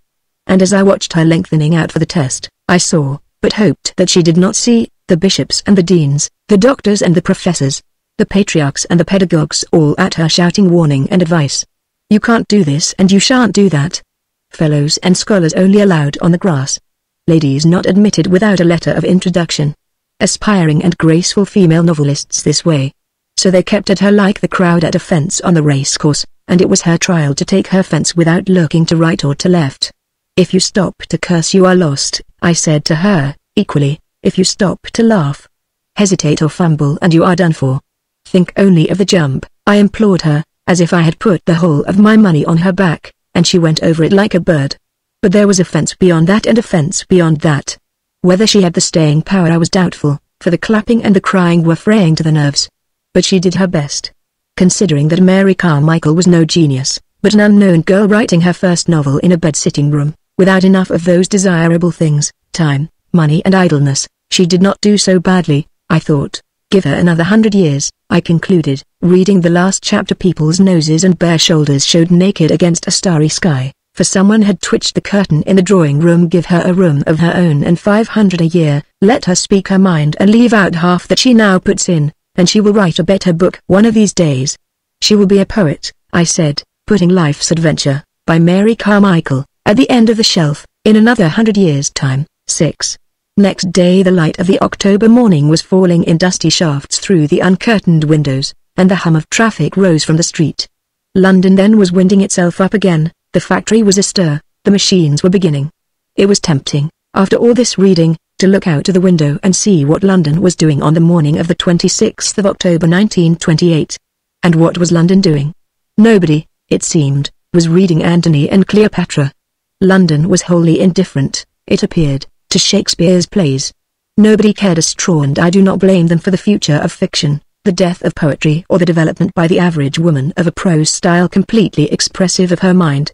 If opinions upon any of these matters had been chalked on the pavement, nobody would have stooped to read them. The nonchalance of the hurrying feet would have rubbed them out in half an hour.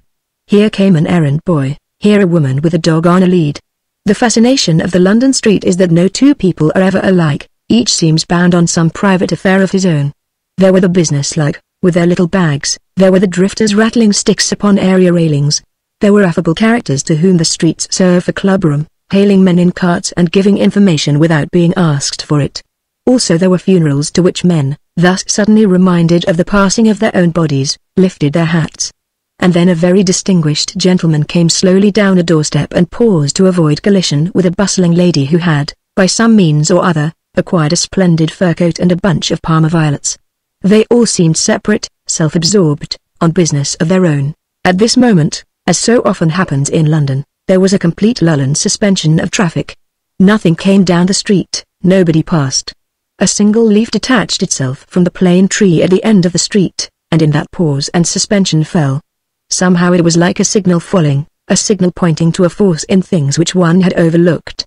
It seemed to point to a river, which flowed past, invisibly, round the corner, down the street, and took people and eddied them along, as the stream at Oxbridge had taken the undergraduate in his boat and the dead leaves.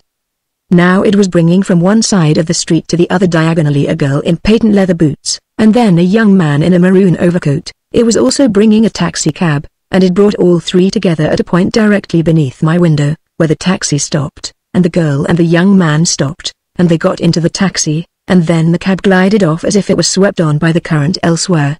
The sight was ordinary enough, what was strange was the rhythmical order with which my imagination had invested it, and the fact that the ordinary sight of two people getting into a cab had the power to communicate something of their own seeming satisfaction. The sight of two people coming down the street and meeting at the corner seems to ease the mind of some strain, I thought, watching the taxi turn and make off. Perhaps to think, as I had been thinking these two days, of one sex as distinct from the other is an effort. It interferes with the unity of the mind. Now that effort had ceased and that unity had been restored by seeing two people come together and get into a taxicab. The mind is certainly a very mysterious organ, I reflected, drawing my head in from the window, about which nothing whatever is known, though we depend upon it so completely. Why do I feel that there are severances and oppositions in the mind, as there are strains from obvious causes on the body? What does one mean by the unity of the mind? I pondered, for clearly the mind has so great a power of concentrating at any point at any moment that it seems to have no single state of being. It can separate itself from the people in the street, for example, and think of itself as apart from them, at an upper window looking down on them. Or it can think with other people spontaneously, as, for instance, in a crowd waiting to hear some piece of news read out. It can think back through its fathers or through its mothers, as I have said that a woman writing thinks back through her mothers. Again if one is a woman one is often surprised by a sudden splitting off of consciousness, say in walking down Whitehall, when from being the natural inheritor of that civilization, she becomes, on the contrary, outside of it, alien and critical. Clearly the mind is always altering its focus, and bringing the world into different perspectives. But some of these states of mind seem, even if adopted spontaneously, to be less comfortable than others. In order to keep oneself continuing in them one is unconsciously holding something back, and gradually the repression becomes an effort. But there may be some state of mind in which one could continue without effort because nothing is required to be held back. And this perhaps, I thought, coming in from the window, is one of them. For certainly when I saw the couple get into the taxicab the mind felt as if, after being divided, it had come together again in a natural fusion. The obvious reason would be that it is natural for the sexes to cooperate, one has a profound, if irrational, instinct in favor of the theory that the union of man and woman makes for the greatest satisfaction, the most complete happiness. But the sight of the two people getting into the taxi and the satisfaction it gave me made me also ask whether there are two sexes in the mind corresponding to the two sexes in the body, and whether they also require to be united in order to get complete satisfaction and happiness? And I went on amateurishly to sketch a plan of the soul so that in each of us two powers preside, one male, one female, and in the man's brain the man predominates over the woman, and in the woman's brain the woman predominates over the man. The normal and comfortable state of being is that when the two live in harmony together, spiritually cooperating. If one is a man, still the woman part of his brain must have effect, and a woman also must have intercourse with the man in her. Coleridge perhaps meant this when he said that a great mind is androgynous. It is when this fusion takes place that the mind is fully fertilized and uses all its faculties. Perhaps a mind that is purely masculine cannot create, any more than a mind that is purely feminine, I thought. But it would he well to test what one meant by man womanly, and conversely by woman manly, by pausing and looking at a book or two. Coleridge certainly did not mean, when he said that a great mind is androgynous, that it is a mind that has any special sympathy with women, a mind that takes up their cause or devotes itself to their interpretation. Perhaps the androgynous mind is less apartment to make these distinctions than the single-sexed mind. He meant, perhaps, that the androgynous mind is resonant and porous, that it transmits emotion without impediment, that it is naturally creative, incandescent and undivided. In fact one goes back to Shakespeare's mind as the type of the androgynous, of the man-womanly mind, though it would be impossible to say what Shakespeare thought of women.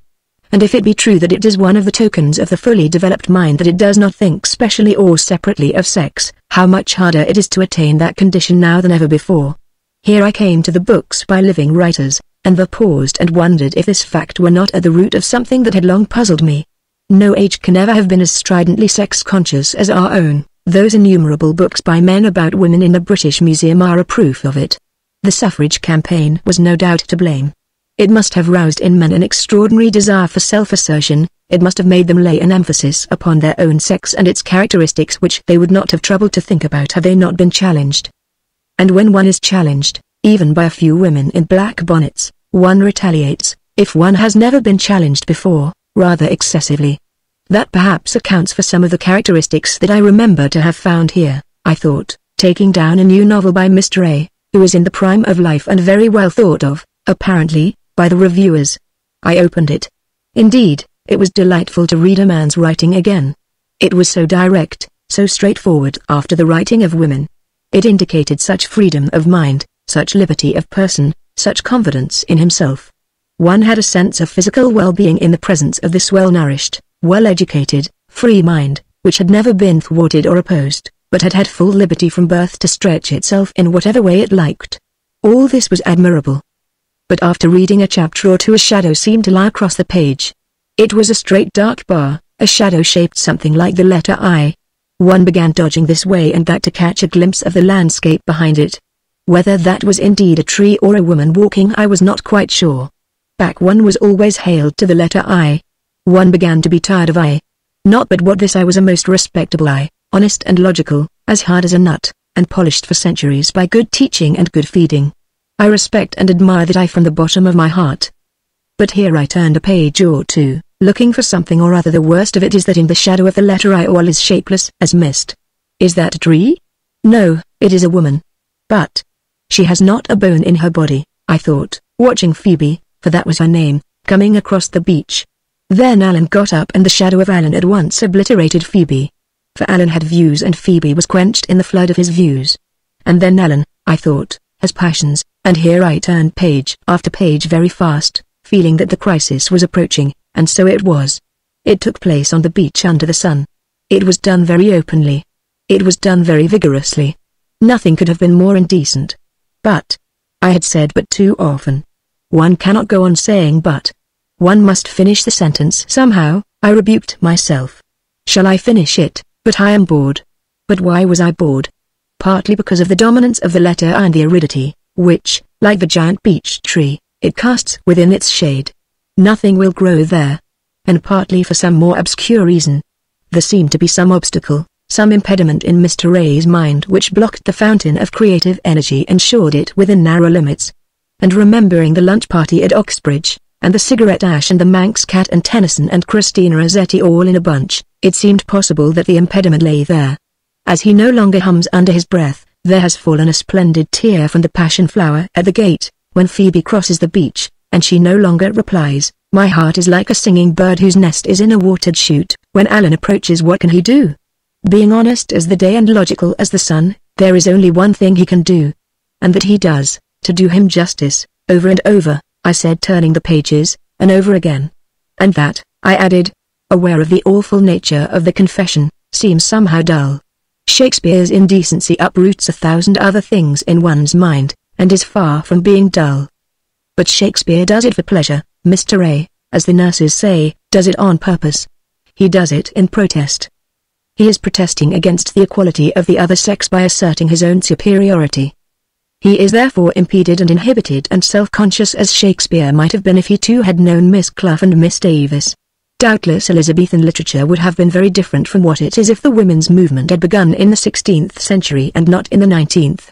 What, then, it amounts to, if this theory of the two sides of the mind holds good, is that virility has now become self-conscious men, that is to say, are now writing only with the male side of their brains.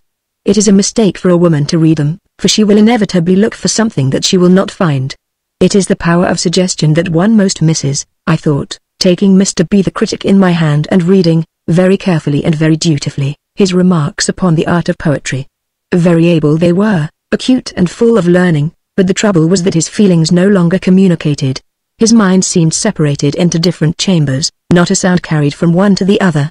Thus, when one takes a sentence of Mr. B into the mind it falls plump to the ground dead, but when one takes a sentence of Coleridge into the mind, it explodes and gives birth to all kinds of other ideas, and that is the only sort of writing of which one can say that it has the secret of perpetual life. But whatever the reason may be, it is a fact that one must deplore. For it means here I had come to rows of books by Mr. Galsworthy and Mr. Kipling that some of the finest works of our greatest living writers fall upon deaf ears. Do what she will a woman cannot find in them that fountain of perpetual life which the critics assure her is there. It is not only that they celebrate male virtues, enforce male values and describe the world of men, it is that the emotion with which these books are permeated is to a woman incomprehensible. It is coming, it is gathering, it is about to burst on one's head, one begins saying long before the end.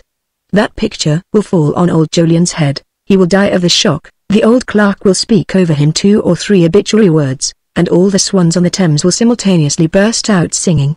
But one will rush away before that happens and hide in the gooseberry bushes, for the emotion which is so deep, so subtle, so symbolical to a man moves a woman to wonder. So with Mr. Kipling's officers who turn their backs, and his sowers who sow the seed, and his men who are alone with their work, and the flag one blushes at all these capital letters as if one had been caught eavesdropping at some purely masculine orgy. The fact is that neither Mr. Galsworthy nor Mr. Kipling has a spark of the woman in him. Thus all their qualities seem to a woman, if one may generalize, crude and immature. They lack suggestive power. And when a book lacks suggestive power, however hard it hits the surface of the mind it cannot penetrate within. And in that restless mood in which one takes books out and puts them back again without looking at them I began to envisage an age to come of pure, of self-assertive virility, such as the letters of professors, take Sir Walter Raleigh's letters, for instance, seem to forebode, and the rulers of Italy have already brought into being for one can hardly fail to be impressed in Rome by the sense of unmitigated masculinity, and whatever the value of unmitigated masculinity upon the state, one may question the effect of it upon the art of poetry. At any rate, according to the newspapers, there is a certain anxiety about fiction in Italy. There has been a meeting of academicians whose object it is to develop the Italian novel. Men famous by birth, or in finance, industry or the fascist corporations came together the other day and discussed the matter, and a telegram was sent to the Duce expressing the hope that the fascist era would soon give birth to a poet worthy of it. We may all join in that pious hope, but it is doubtful whether poetry can come of an incubator. Poetry ought to have a mother as well as a father. The fascist poem, one may fear, will be a horrid little abortion such as one sees in a glass jar in the museum of some county town. Such monsters never live long, it is said, one has never seen a prodigy of that sort cropping grass in a field two heads on one body do not make for length of life. However, the blame for all this, if one is anxious to lay blame, rests no more upon one sex than upon the other. All seducers and reformers are responsible, Lady Bessborough when she lied to Lord Granville, Miss Davies when she told the truth to Mr. Greg. All who have brought about a state of sex consciousness are to blame, and it is they who drive me, when I want to stretch my faculties on a book, to seek it in that happy age, before Miss Davies and Miss Clough were born, when the writer used both sides of his mind equally. One must turn back to Shakespeare then, for Shakespeare was androgynous, and so were Keats and Sterne and Cowper and Lamb and Coleridge. Shelley perhaps was sexless. Milton and Ben Jonson had a dash too much of the male in them. So had Wordsworth and Tolstoy.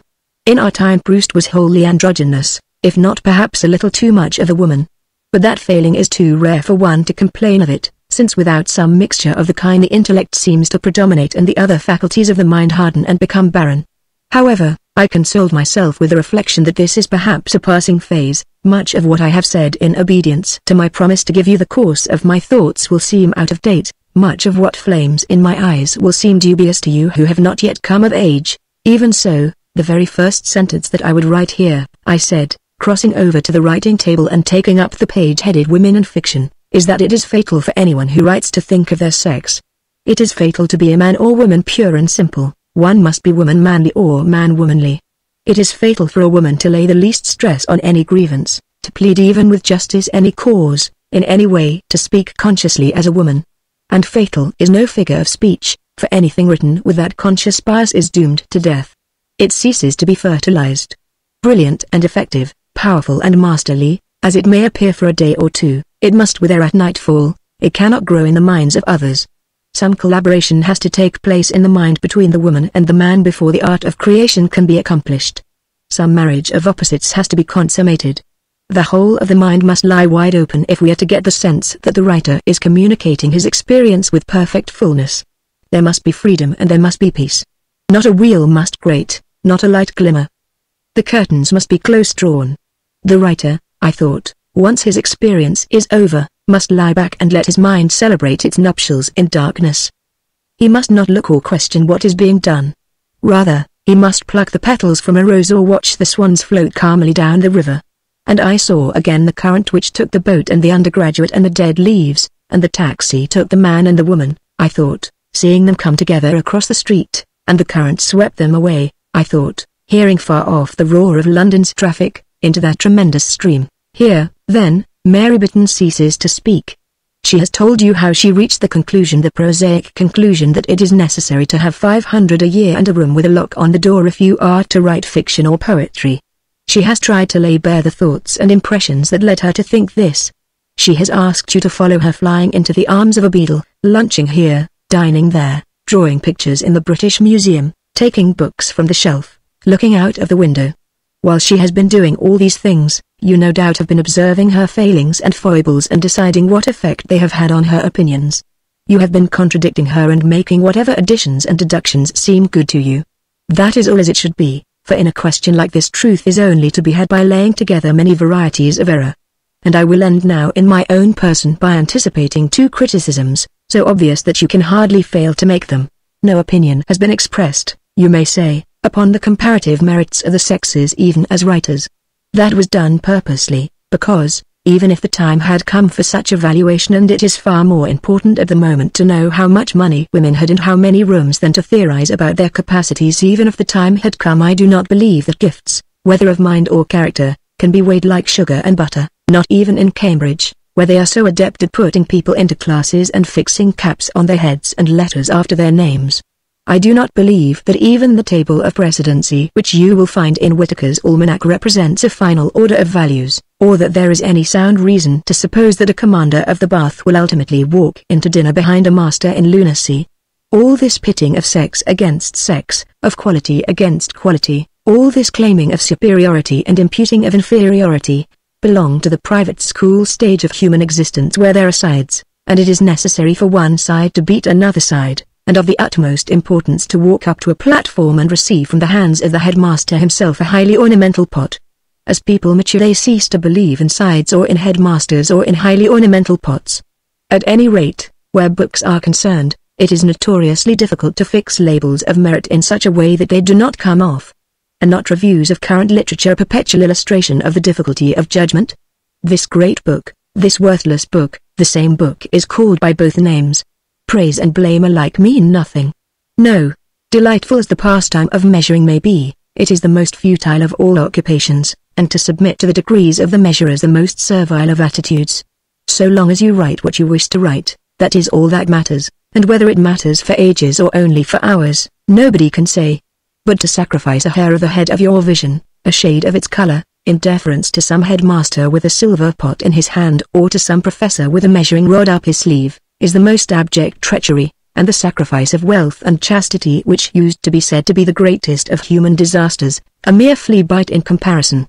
Next I think that you may object that in all this I have made too much of the importance of material things. Even allowing a generous margin for symbolism, that 500 a year stands for the power to contemplate, that to lock on the door means the power to think for oneself, still you may say that the mind should rise above such things, and that great poets have often been poor men. Let me then quote to you the words of your own professor of literature, who knows better than I do what goes to the making of a poet. Sir Arthur Quiller Couch writes, 10. What are the great poetical names of the last hundred years or so?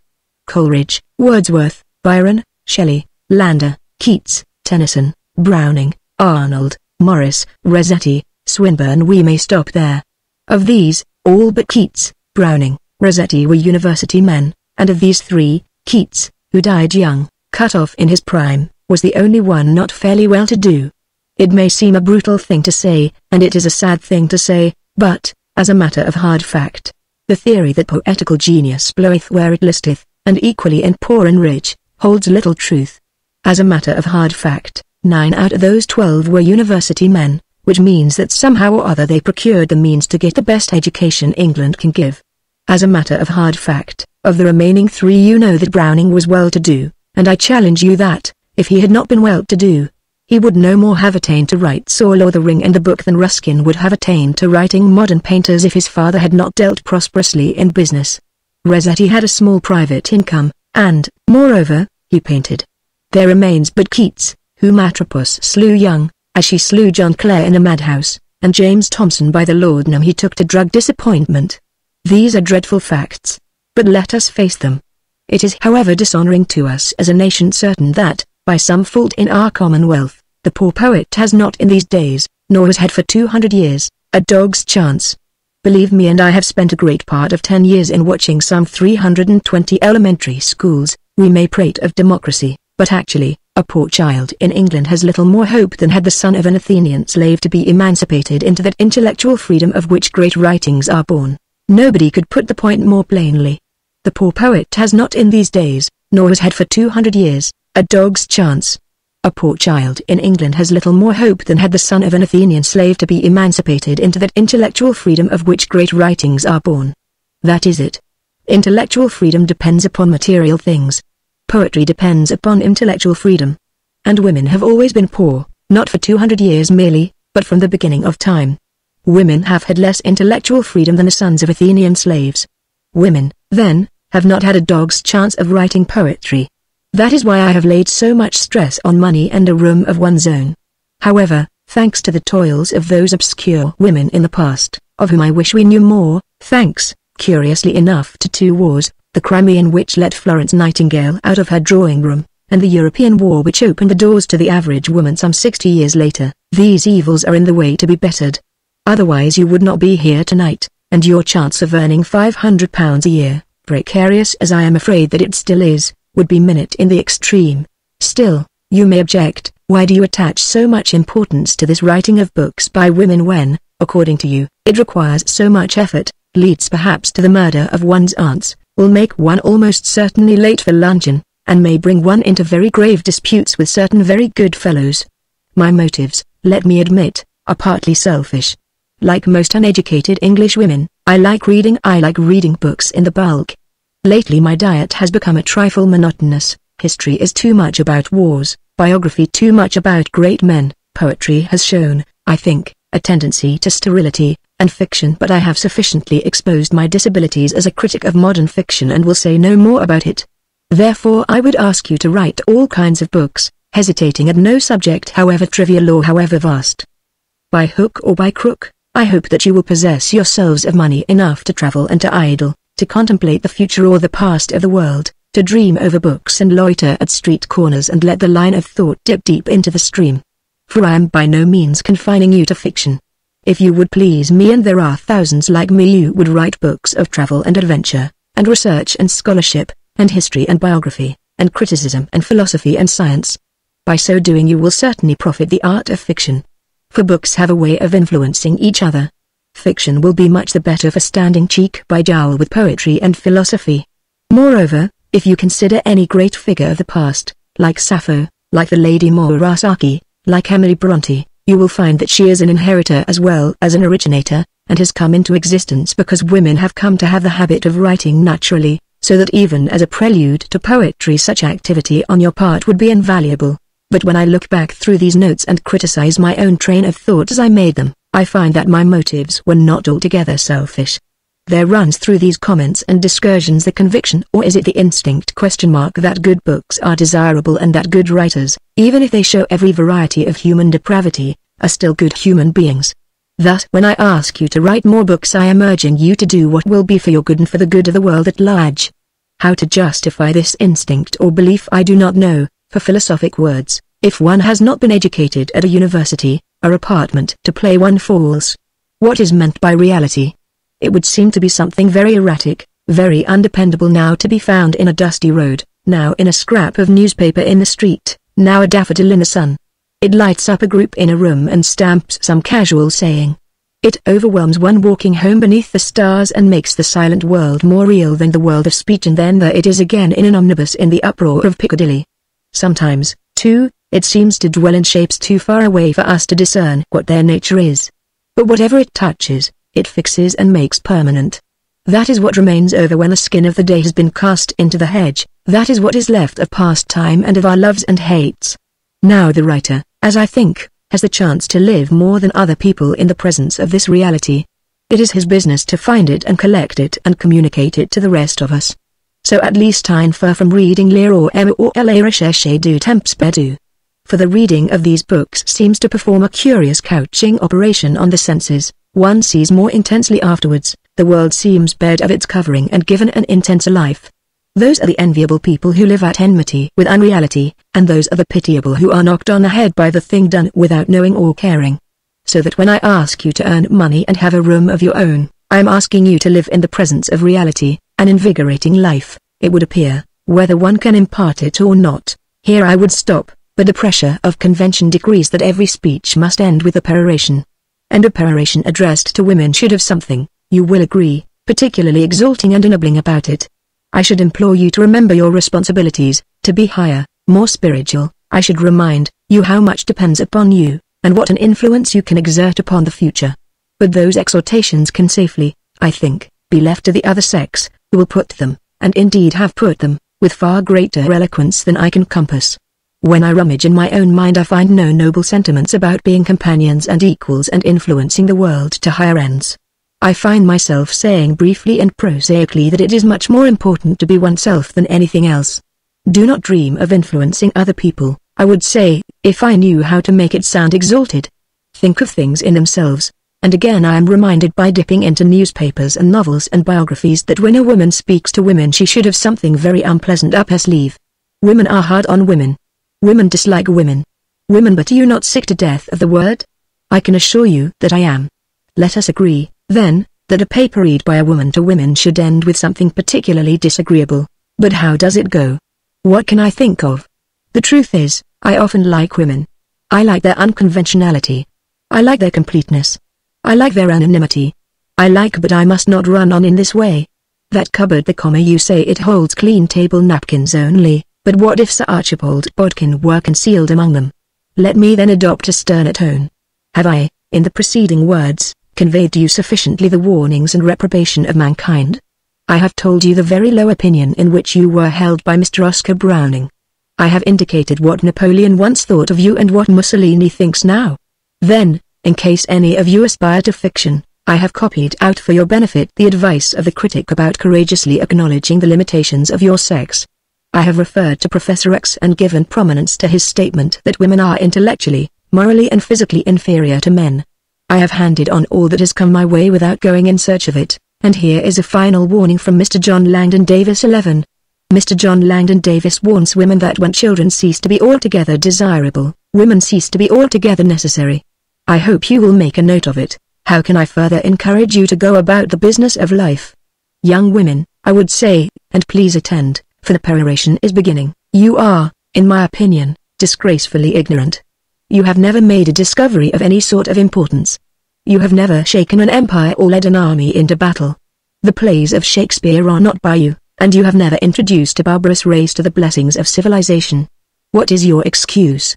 It is all very well for you to say, pointing to the streets and squares and forests of the globe swarming with black and white and coffee-colored inhabitants, all busily engaged in traffic and enterprise and lovemaking, we have had other work on our hands. Without our doing, those seas would be unsailed and those fertile lands a desert.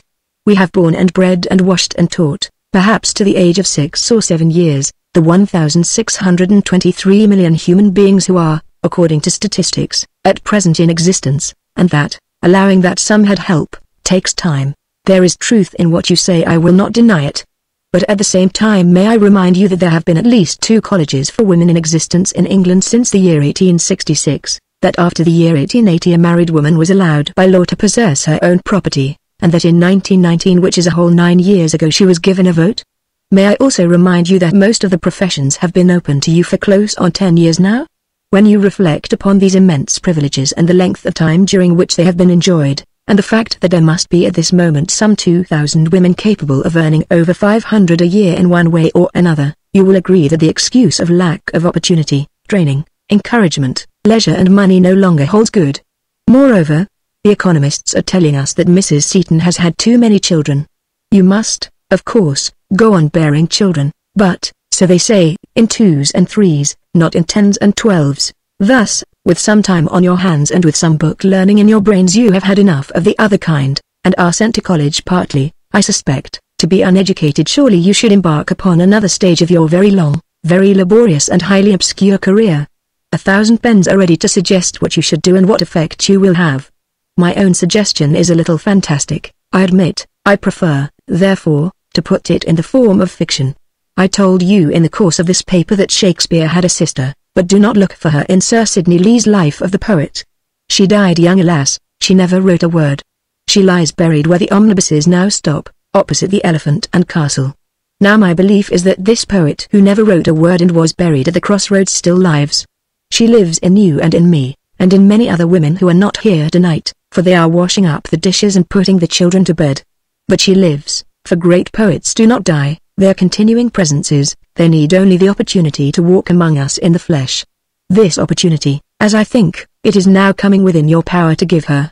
For my belief is that if we live another century or so I am talking of the common life which is the real life and not of the little separate lives which we live as individuals and have 500 a year each of us and rooms of our own, if we have the habit of freedom and the courage to write exactly what we think, if we escape a little from the common sitting room and see human beings not always in their relation to each other but in relation to reality, and the sky, too, and the trees or whatever it may be in themselves, if we look past Milton's bogey, for no human being should shut out the view, if we face the fact, for it is a fact, that there is no arm to cling to, but that we go alone and that our relation is to the world of reality and not only to the world of men and women, then the opportunity will come and the dead poet who was Shakespeare's sister will put on the body which she has so often laid down.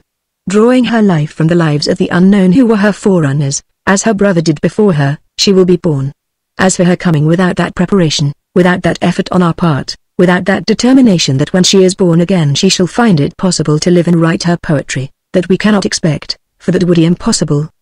But I maintain that she would come if we worked for her, and that so to work, even in poverty and obscurity, is worthwhile. 1. We are told that we ought to ask for £30,000 at least. It is not a large sum, considering that there is to be but one college of this sort for Great Britain, Ireland and the colonies, and considering how easy it is to raise immense sums for boys' schools. But considering how few people really wish women to be educated, it is a good deal. Lady Stephen, Emily Davies and Girton College, so obviously we cannot have wine and partridges and servants carrying tin dishes on their heads, she said. We cannot have sofas and separate rooms. The amenities, she said, quoting from some book or other, will have to wait. Every penny which could be scraped together was set aside for building, and the amenities had to be postponed. R. Strachey, the cause. 2. Men know that women are an overmatch for them, and therefore they choose the weakest or the most ignorant. If they did not think so, they never could be afraid of women knowing as much as themselves. In justice to the sex, I think it but candid to acknowledge that, in a subsequent conversation, he told me that he was serious in what he said. Boswell, the Journal of the to the Hebrides. 3. The ancient Germans believed that there was something holy in women, and accordingly consulted them as oracles. Frazer, Golden Bough. 4. It remains a strange and almost inexplicable fact that in Athena's city, where women were kept in almost oriental suppression as odalisques or drudges, the stage should yet have produced figures like Clytemnestra and Cassandra Atossa and Antigone, Phaedra and Medea, and all the other heroines who dominate play after play of the misogynist Euripides. But the paradox of this world where in real life a respectable woman could hardly show her face alone in the street, and yet on the stage woman equals or surpasses man, has never been satisfactorily explained. In modern tragedy the same predominance exists. At all events, a very cursory survey of Shakespeare's work, similarly with Webster, though not with Marlowe or Jonson, suffices to reveal how this dominance, this initiative of women, persists from Rosalind to Lady Macbeth. So too in Racine, six of his tragedies bear their heroines' names, and what male characters of his shall we set against Hermione and Andromache, Berenice and Roxana, Phaedra and Athalie? So again with Ibsen, What men shall we match with Solveig and Nora, Hedda and Hilda Wangel and Rebecca West question mark F. L. Lucas, Tragedy, pages 114 to 15. 5. A Survey of Contemporary Music, Cecil Gray, p. 246. 6. See Cassandra, by Florence Nightingale, printed in The Cause, by R. Strachey. 7. Memoir of Jane Austen, by her nephew, James Edward Austen Leigh. 8. She has a metaphysical purpose, and that is a dangerous obsession, especially with a woman, for women rarely possess men's healthy love of rhetoric. It is a strange lack in the sex which is in other things more primitive and more materialistic. New Criterion, June 1928. 9. If, like the reporter, you believe that female novelists should only aspire to excellence by courageously acknowledging the limitations of their sex, Jane Austen has demonstrated how gracefully this gesture can be accomplished. Life and Letters, August 1928. 10. The Art of Writing, by Sir Arthur Quiller Couch. 11. A Short History of Women, by John Langdon Davies.